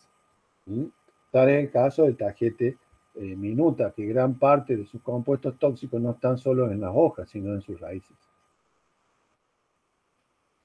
Terpeno, la actividad inhibitoria. Bueno, voy más rápido para ya no interrumpirlo mucho. Para hacer una síntesis, los mejores monoterpenos o fenilpropanoides son del grupo de los bencenos dioxanos, porque pueden sinergizar muy bien. Algunos mejores que otros, pero es la estructura benceno-dioxano, es la mejor que hay para ser sinergizante, para tener un efecto largo, prolongado en el tiempo, alguna de sus estructuras. Dentro de los monoterpenos, la estructura ceto, carbonilo, alfa, beta sustituido o puede ser aldehído, alfa, beta insaturado. Pero la estructura carbonilo, alfa, beta insaturado es una de las mejores. Tiene una buena interacción con las acetilcolinesterasas de distintos tipos de insectos. Sobre todo si la estructura alfa-beta, si el grupo eh, alfa-beta, el grupo alqueno que tenemos acá, se encuentra más bien terminal que interno. Por eso es mucho mejor la pulegona, que lo tiene acá abajo más expuesto, y no lo tiene adentro del anillo. Pero bueno, es lo que tenemos en la naturaleza. Los fenoles son buenos eh, insecticidas, pero en realidad son mejores antimicrobianos. Si uno quiere hacer una combinación mixta, insectos, hongos, no hay como timol, carbacrol, eugenol. Con esa fórmula productos naturales, eh, podemos sinergizar cualquier fungicida sintético y ellos por eso mismo tienen buena actividad. Si vamos al tema fitotóxico, bueno, hay que verlo con cuidado. La mayoría de los granos son resistentes a las dosis con que se aplican en los, en los silo bolsa o en los eh, silo bolsa experimentales, ¿no es cierto? Son, eh, son buenos, eh, hay germinación del maíz, hay germinación de, del trigo y de otros eh, cereales. Incluso cuando se aplica sobre soja, también no afecta. En las plantas, yo ya le dije, hay que hacer estudios. Cada hoja tiene distinto eh, cubierta de lípidos y respuesta al estrés. No se olviden que muchos de estos térpenos se usan como herbicidas, o sea que son fitotóxicos. Bueno, entonces, todos esos puntos dan valor a un trabajo académico. Si vamos a hacer aplicación, no solamente tenemos que buscar el producto bioactivo, sino evaluar las otras cuestiones. De los terpenos activos sobre la acetilcolesterasa, lo único que se conoce hasta ahora, así hecho, es que se dividen en dos grupos.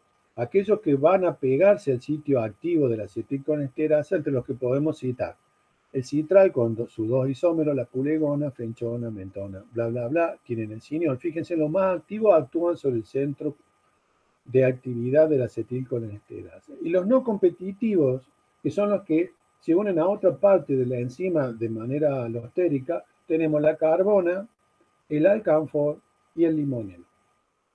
Fíjense que actúan sobre la acetilcolesterasa, pero con dos mecanismos diferentes.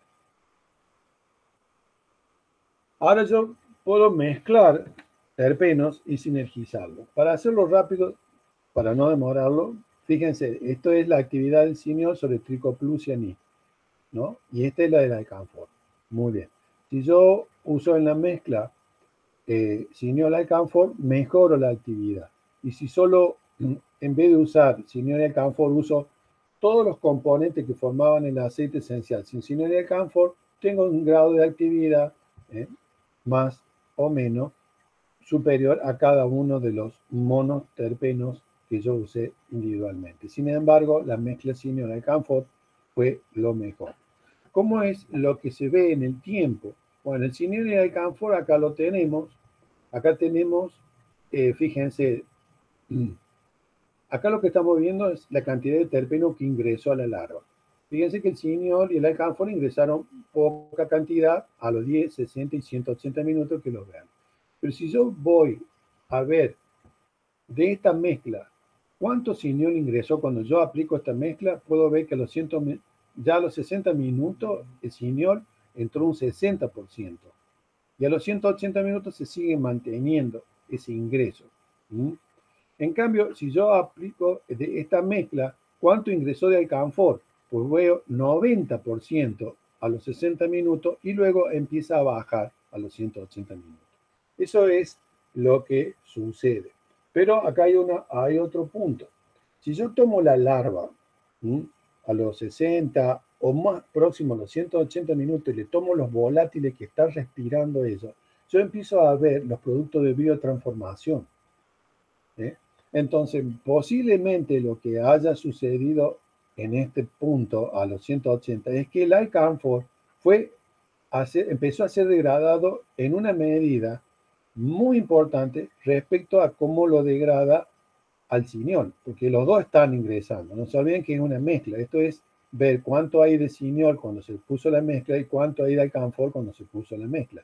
Entonces, como el alcanfor alcanzó valores mayores de ingreso, también es el primero que se va a desintoxicar, porque hay mayor cantidad y las P450 lo empiezan a degradar en mayor cantidad. Cuando uno ve los volátiles que respira la larva, encuentra eso, productos de la degradación del alcanfor en mayor concentración en la fase volátil que del 1,8 cineol.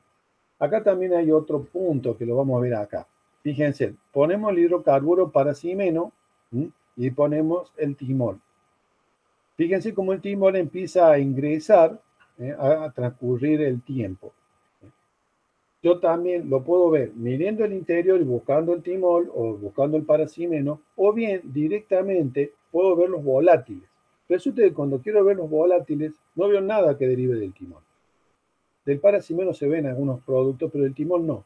¿Por qué? Porque el timol tiene una forma de desintoxicarse que es distinta a la de los otros monoterpenos. En general, los fenoles se detoxifican como glicósidos, es decir, le pegan una azúcar a la molécula, la meten en el sistema acuoso silema floema y de ahí se encargan de descargarlo, ¿no es cierto?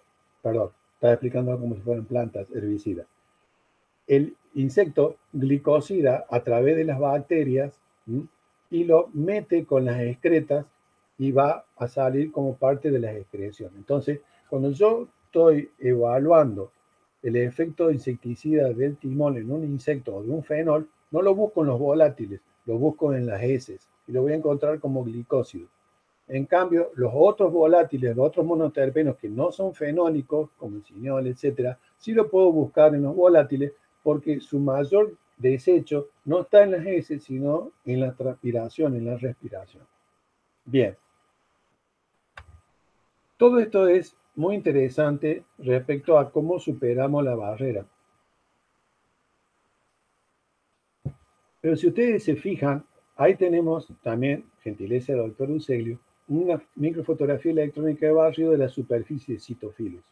Miren la cantidad de pelos que tienen. Bueno, si la una forma de, de, aumentar la resistencia no es solo produciendo un espesor mayor de cutícula, sino puede ser por un incremento del número de pelos. Si aumentamos el número de pelos, tomen un cepillo con poco pelo y un cepillo con mucho pelo y agréguenle una gota de aceite y van a ver que el que tiene poco pelo, la gota de aceite va a llegar al fondo, a la base donde están sujetos los pelos, mientras que la otra va a demorar. Es lo que pasa. Eso hace que las sustancias lleguen a la superficie, digamos, más fácil cuando hay menos cantidad de eh, pelos, etc. Una forma de aumentar la resistencia es aumentando la cantidad de pelos. De esa manera se forman bolsas de aire y las sustancias no llegan al contacto de la cutícula. Y por lo tanto, no hay un efecto tóxico marcado. Eso es una situación. Y el otro punto es la dispersión. Si ustedes toman teflón y le agregan una gota de agua, van a ver que el la gota de agua queda como muy esférica y ni siquiera llega a mojar el teflón.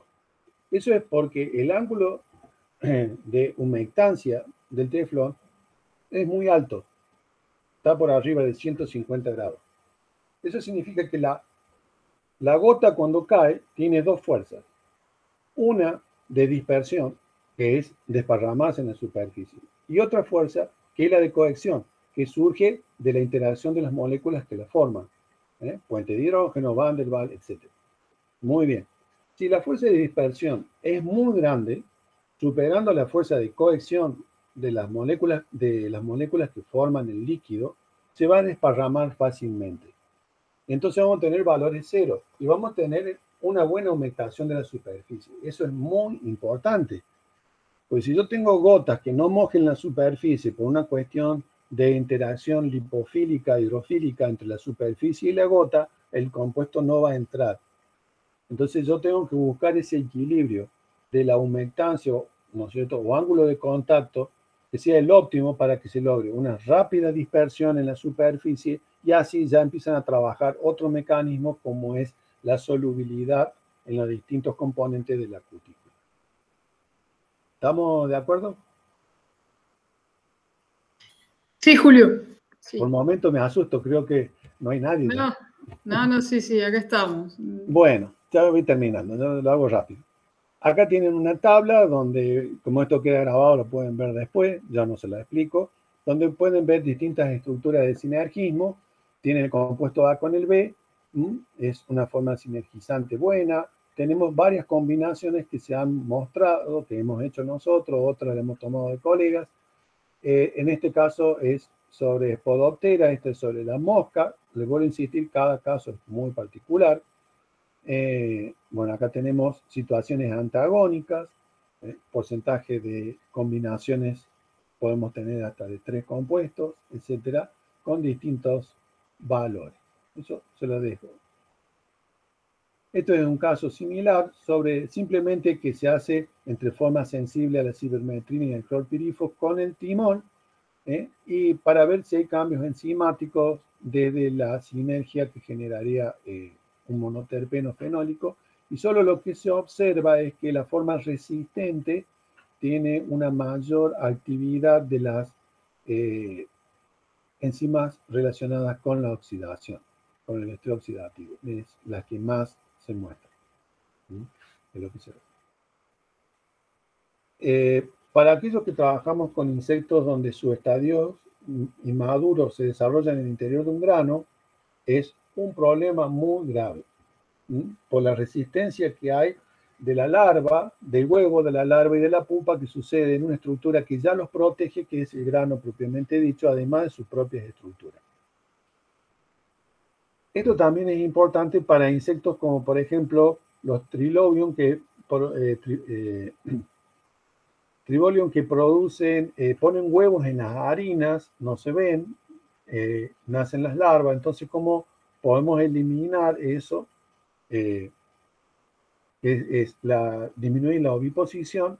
Y si nacen, esos adultos no sean competitivos y sean fácilmente predados o eliminados o no dejen descendencia. Bueno, uno de los mejores, el 1.8 senior y el tras cinamaldehído.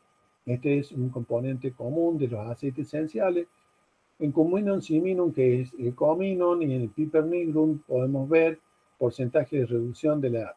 Cuando ponemos los granos que están limpios, le ponemos los aceites esenciales y hay una fuerte reducción de progenie. Entonces, cuando abrimos el paquete, no lo encontramos con insectos caminando y produciendo el rechazo por parte del comprador. Eh, bueno, acá hay alguna relación con la acetilcolinesterasa. Acá tenemos timón, carbacrol, eugenol. Yo le dije que estos son fenoles, son poco volátiles respecto a los hidrocarburos, la acetona, aldehídos. Se pegan bien en las superficies. En general, los análisis sensoriales tienen que estar acompañando estos estudios.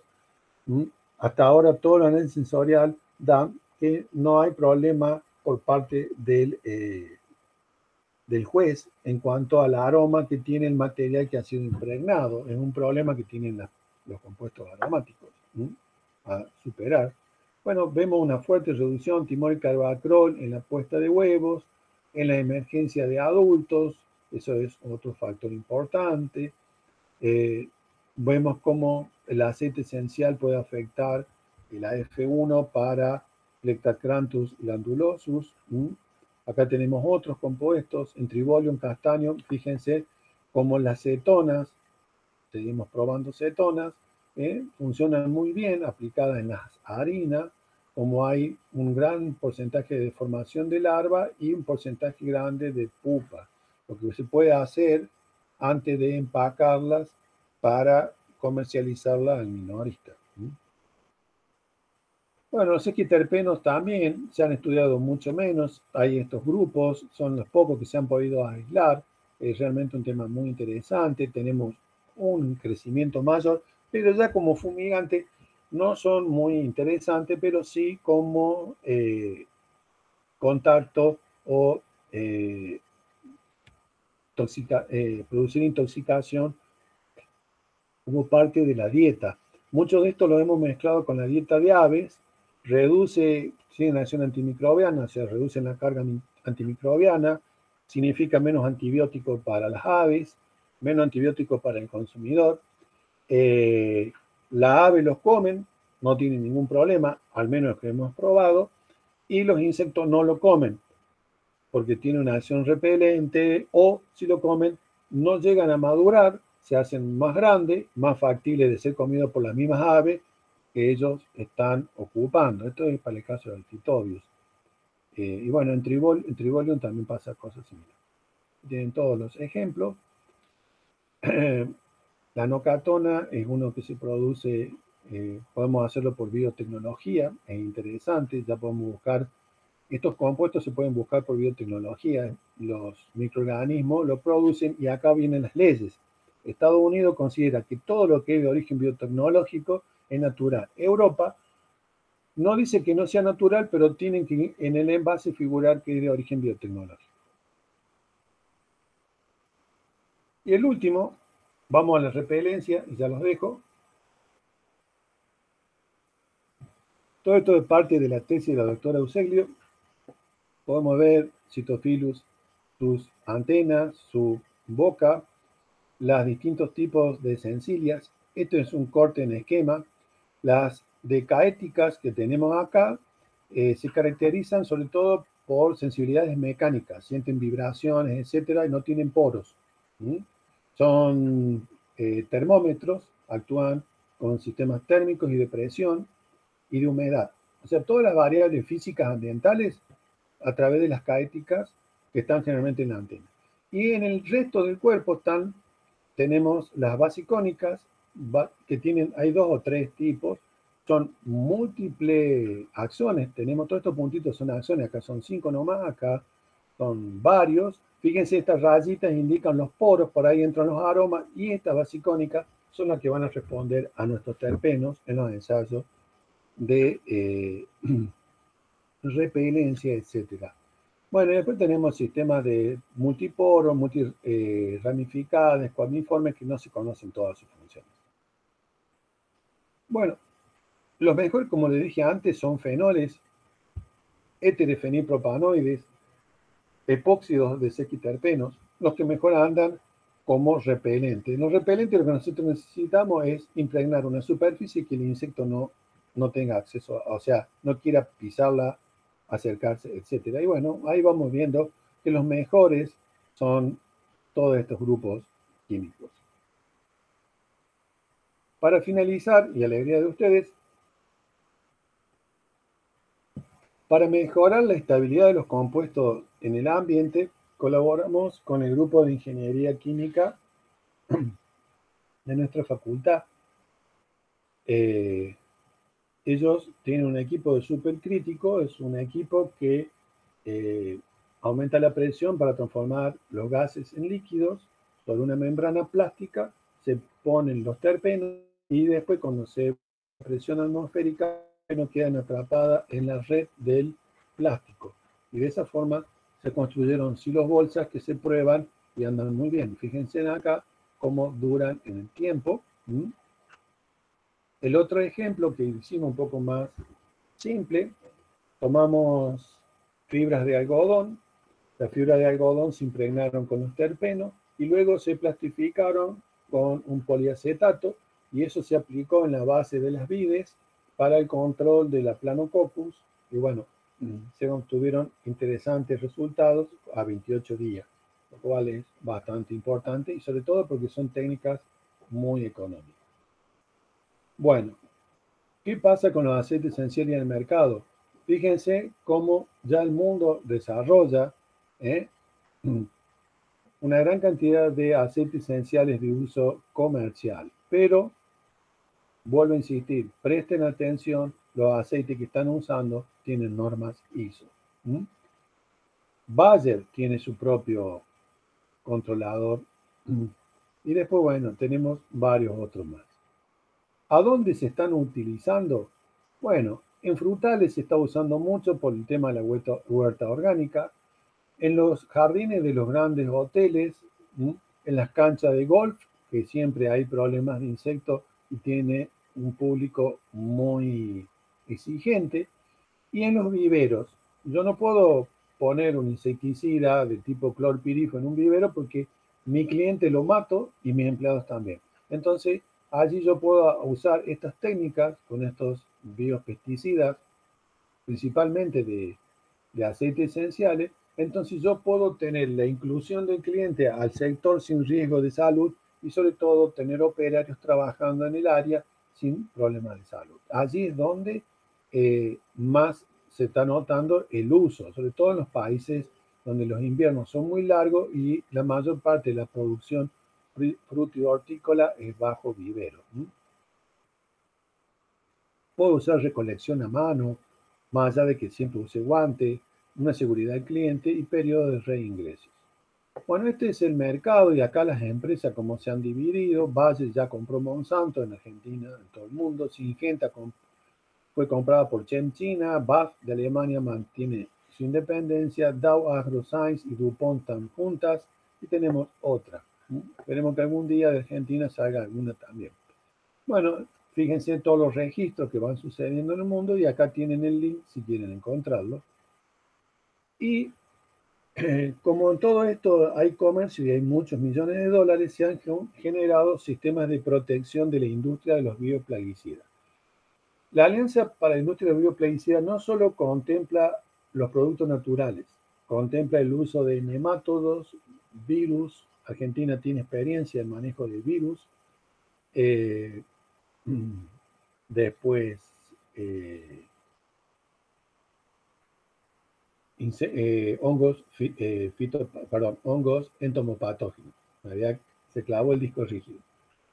Y después hay una Asociación Internacional de Fabricantes de Biocontrol, que son también todos los que usan organismos vivos, virus, bacterias, BT, etcétera, y también están entrando de a poco los de productos naturales que son un poco resistidos, pero van entrando siempre y cuando muestren que son productos totalmente naturales.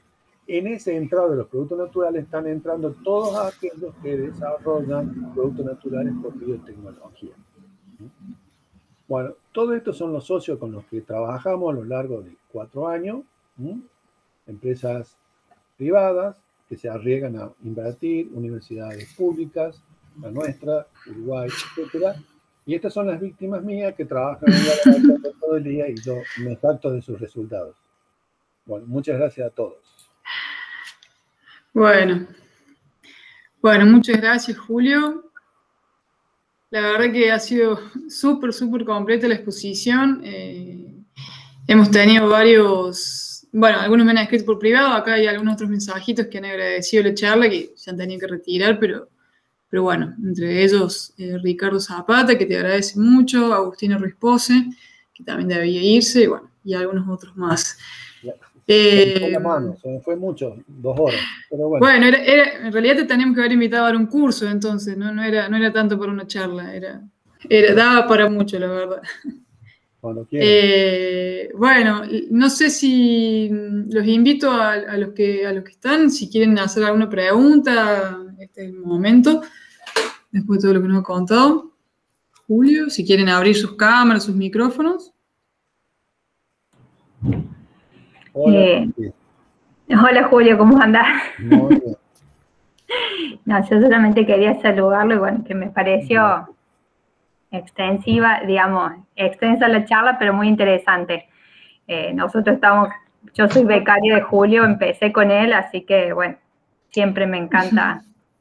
Ya me sufrió. Sí, sí, hubo un montón. Sufrí un montón de Julio. Aprendí mucho de él, muchísimo bueno, gracias, Mercedes. Bueno, acá, acá varios están diciendo que esperan el curso de posgrado. Seba, ¿querés, preguntarlo vos? ¿Prender la cámara, el micrófono? ¿Hace tu pregunta? ¿O estás con problemas de micro? Si quieren un curso de posgrado, eh, no hay problema, pero denme tiempo que lo organice porque lo mejor sería hacerlo presencial para sí, hacer sí. técnicas de, de bioensayo. Por ejemplo, la técnica de repelencia, tenemos dos modelos, que son uno que es de opción simple, eh, atracción-repelencia, que es lo más básico, con lo que se empieza, y después tenemos otros con, con un sistema de granos, que, ahí la doctora Sunino maneja toda esa técnica y después la doctora Pisualito está con Merlo, que está en tu facultad, las dos, economías. Ellas son las que hacen bacteria y hongo y tienen todas las técnicas, líquidos, etcétera, fumigantes. Está perfecto. Bueno, interesante, lo organizamos con microbiología de ustedes, que está Luchini. Dale, bueno, sí, sí, buenísimo.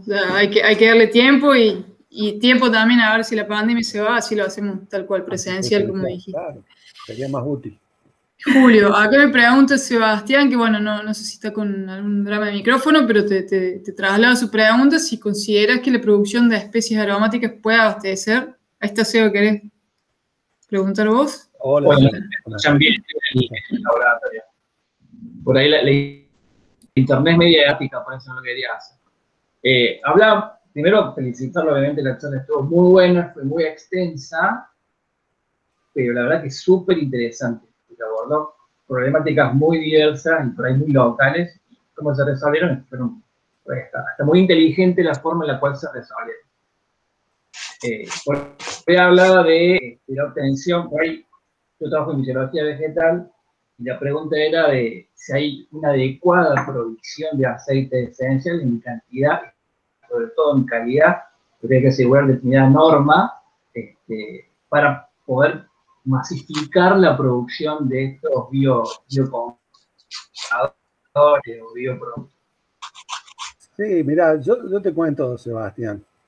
Eh, el tajete durante años se cultivaba en la zona de Tras la Sierra, Córdoba, San Luis, de forma silvestre, de los campos que quedaban en reposo, se cosechaban y ahí cerca hay un establecimiento que estaba trabajando hace mucho tiempo, y no sé si ellos siguen trabajando, tenían todo a capacidad industrial, con equipo de vapor, y todo ese aceite esencial se exportaba. Gracias a esa exportación que se hacía a Inglaterra y Estados Unidos, eh, Argentina durante un tiempo cotizó el aceite esencial de tarjeta minuta tipo argentino, para lo cual se pidió hacer la norma IRAM. Y por eso colaboramos en esa norma IRAM, porque la mayor producción se hacía Córdoba-San Luis, entonces IRAM nos invitó a través del doctor Bandoni a ir a, eh, trabajar en las comisiones y se sacó la ira. Luego eh, nos envalentonamos porque como Córdoba en particular, la provincia de mi universidad, produce peperina, lástima que no hay cultivo, pero bueno, la doctora Ojeda estaba en eso de los cultivos eh, con CBC, había hecho dos tesis, creo, la de ella, mejorar variedades, eh, quimiotipos, habíamos trabajado en eso, la ayudamos en la parte química, y bueno, dijimos, bueno, ¿por qué no, no registrar la peperina también, el aceite esencial? Y bueno, allá fuimos y registramos el tipo argentino. Ahora creo que hay otro más de la peperina. Eh, la extensión depende de, los recursos. Si la soja, la tonelada vale 600 dólares, hay que tener un recurso que dé un valor agregado alto. Y todo el mundo lo va a hacer. Eh, yo eso me doy cuenta porque hasta los años 70 Argentina era exportador de trigo y a partir de los 90 somos exportador de soja. Es una cuestión de, números. Cuando vos hablas con los productores, eh, bueno, ustedes son agrónomos, ustedes los tienen que incentivar mostrándole el lado económico.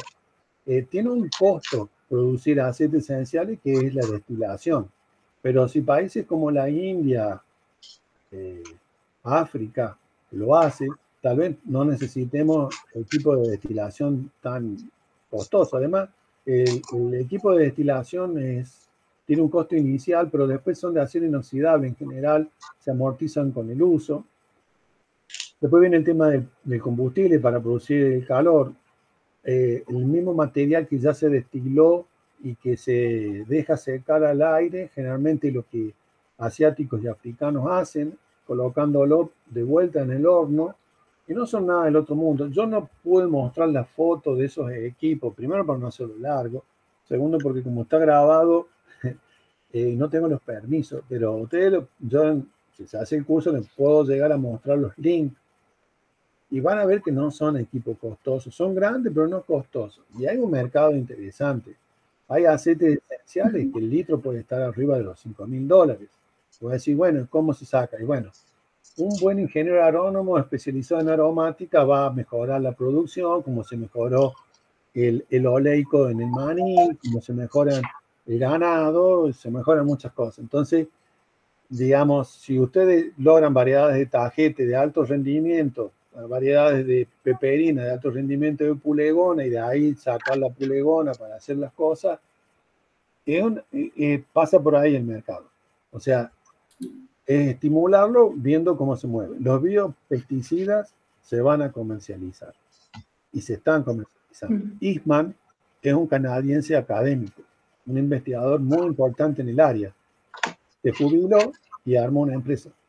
Y hoy es una de las empresas que vende bioplaguicidas para el hogar. Porque así como vos podés, yo mostré el agro, porque nosotros estamos dedicados al agro, pero por ejemplo hay grupos que, que trabajé en Buenos Aires, la doctora Piccolo y el doctor Tortosa, eh, que trabajan en control de piojo y mosquito. Y muchos de los aromatizantes de ambiente son a su vez repelentes de mosquito. Entonces, ¿cuánto gana ILEA vendiendo Tecnopusik a base de aceite esencial? Entonces, si hay si va a armar algo, tiene algún contador, economista, un estudio de mercado. Eh, no te puedo decir así, pero que hay plata, mucha, seguro. Porque además es la tendencia, la tendencia global. Está bien. Ahí María de las Mercedes, levantaste la mano. Sí. Sí, Julio, yo, vos hablaste al principio de que usaban los aceites para, em, digamos, eh, para la, eh, en los silos, digamos, mientras los granos están almacenados. ¿Cómo los aplican ahí? ¿Cómo, cómo hacen, digamos, en la bolsa, en, por gas? ¿Cómo hacen para...? Te, te cuento. Eh, los primeros trabajos fueron académicos, una vez que tenemos que eran cápsulas de Petri, cerrada, todo eso, y nos dábamos cuenta de la limitación del ensayo. Eh, actualmente lo que se hace, se toma el silo bolsa, ¿no es cierto? Se compra, en realidad nos regalan los silos bolsa usados, los lavamos, los chequeamos por fibra, que no tenga piretroide, clorpirifo, cualquiera de esas cosas. Una vez que está bien limpio la bolsa, hacemos nuestras propias bolsitas y se coloca un papelito de filtro generalmente con el compuesto volátil. Lo que hemos evolucionado ahora es, tomamos las bolsitas y le inyectamos dentro del plástico la bolsita con supercrítico. El tema es que no juntamos el dinero para tener un supercrítico grande. Entonces la bolsita que se hace, eh, digamos el plástico que se impregna es muy chiquitito. Una compañera, la doctora Herrera, estuvo en México y ella aprendió a hacer lo mismo por, por coextrucción. Eh, es una técnica que yo no, no, la manejo, ya di un seminario, pero no pude asistir. Es más o menos así, tienen la lámina, ponen el, el principio activo y después le pasan como un, un, bilaminado, ¿te das cuenta? Con temperatura. Y funciona muy bien, porque eh, los mexicanos estaban interesados en nuestros temas porque ellos tienen problema del maíz. Entonces era como una bicapa de la cual la del medio era bioactiva y migraba para adentro y para afuera. Para que no migre para afuera le aplicaban un impermeabilizante y entonces migraba solo para adentro. Si querían tener doble acción, lo dejaban migrar para los dos lados. E, eso es otro. Y el de los, el otro es un plastificante. Nosotros tomamos las pinturas, vemos los volátiles que tienen, pinturas que se usan en la industria.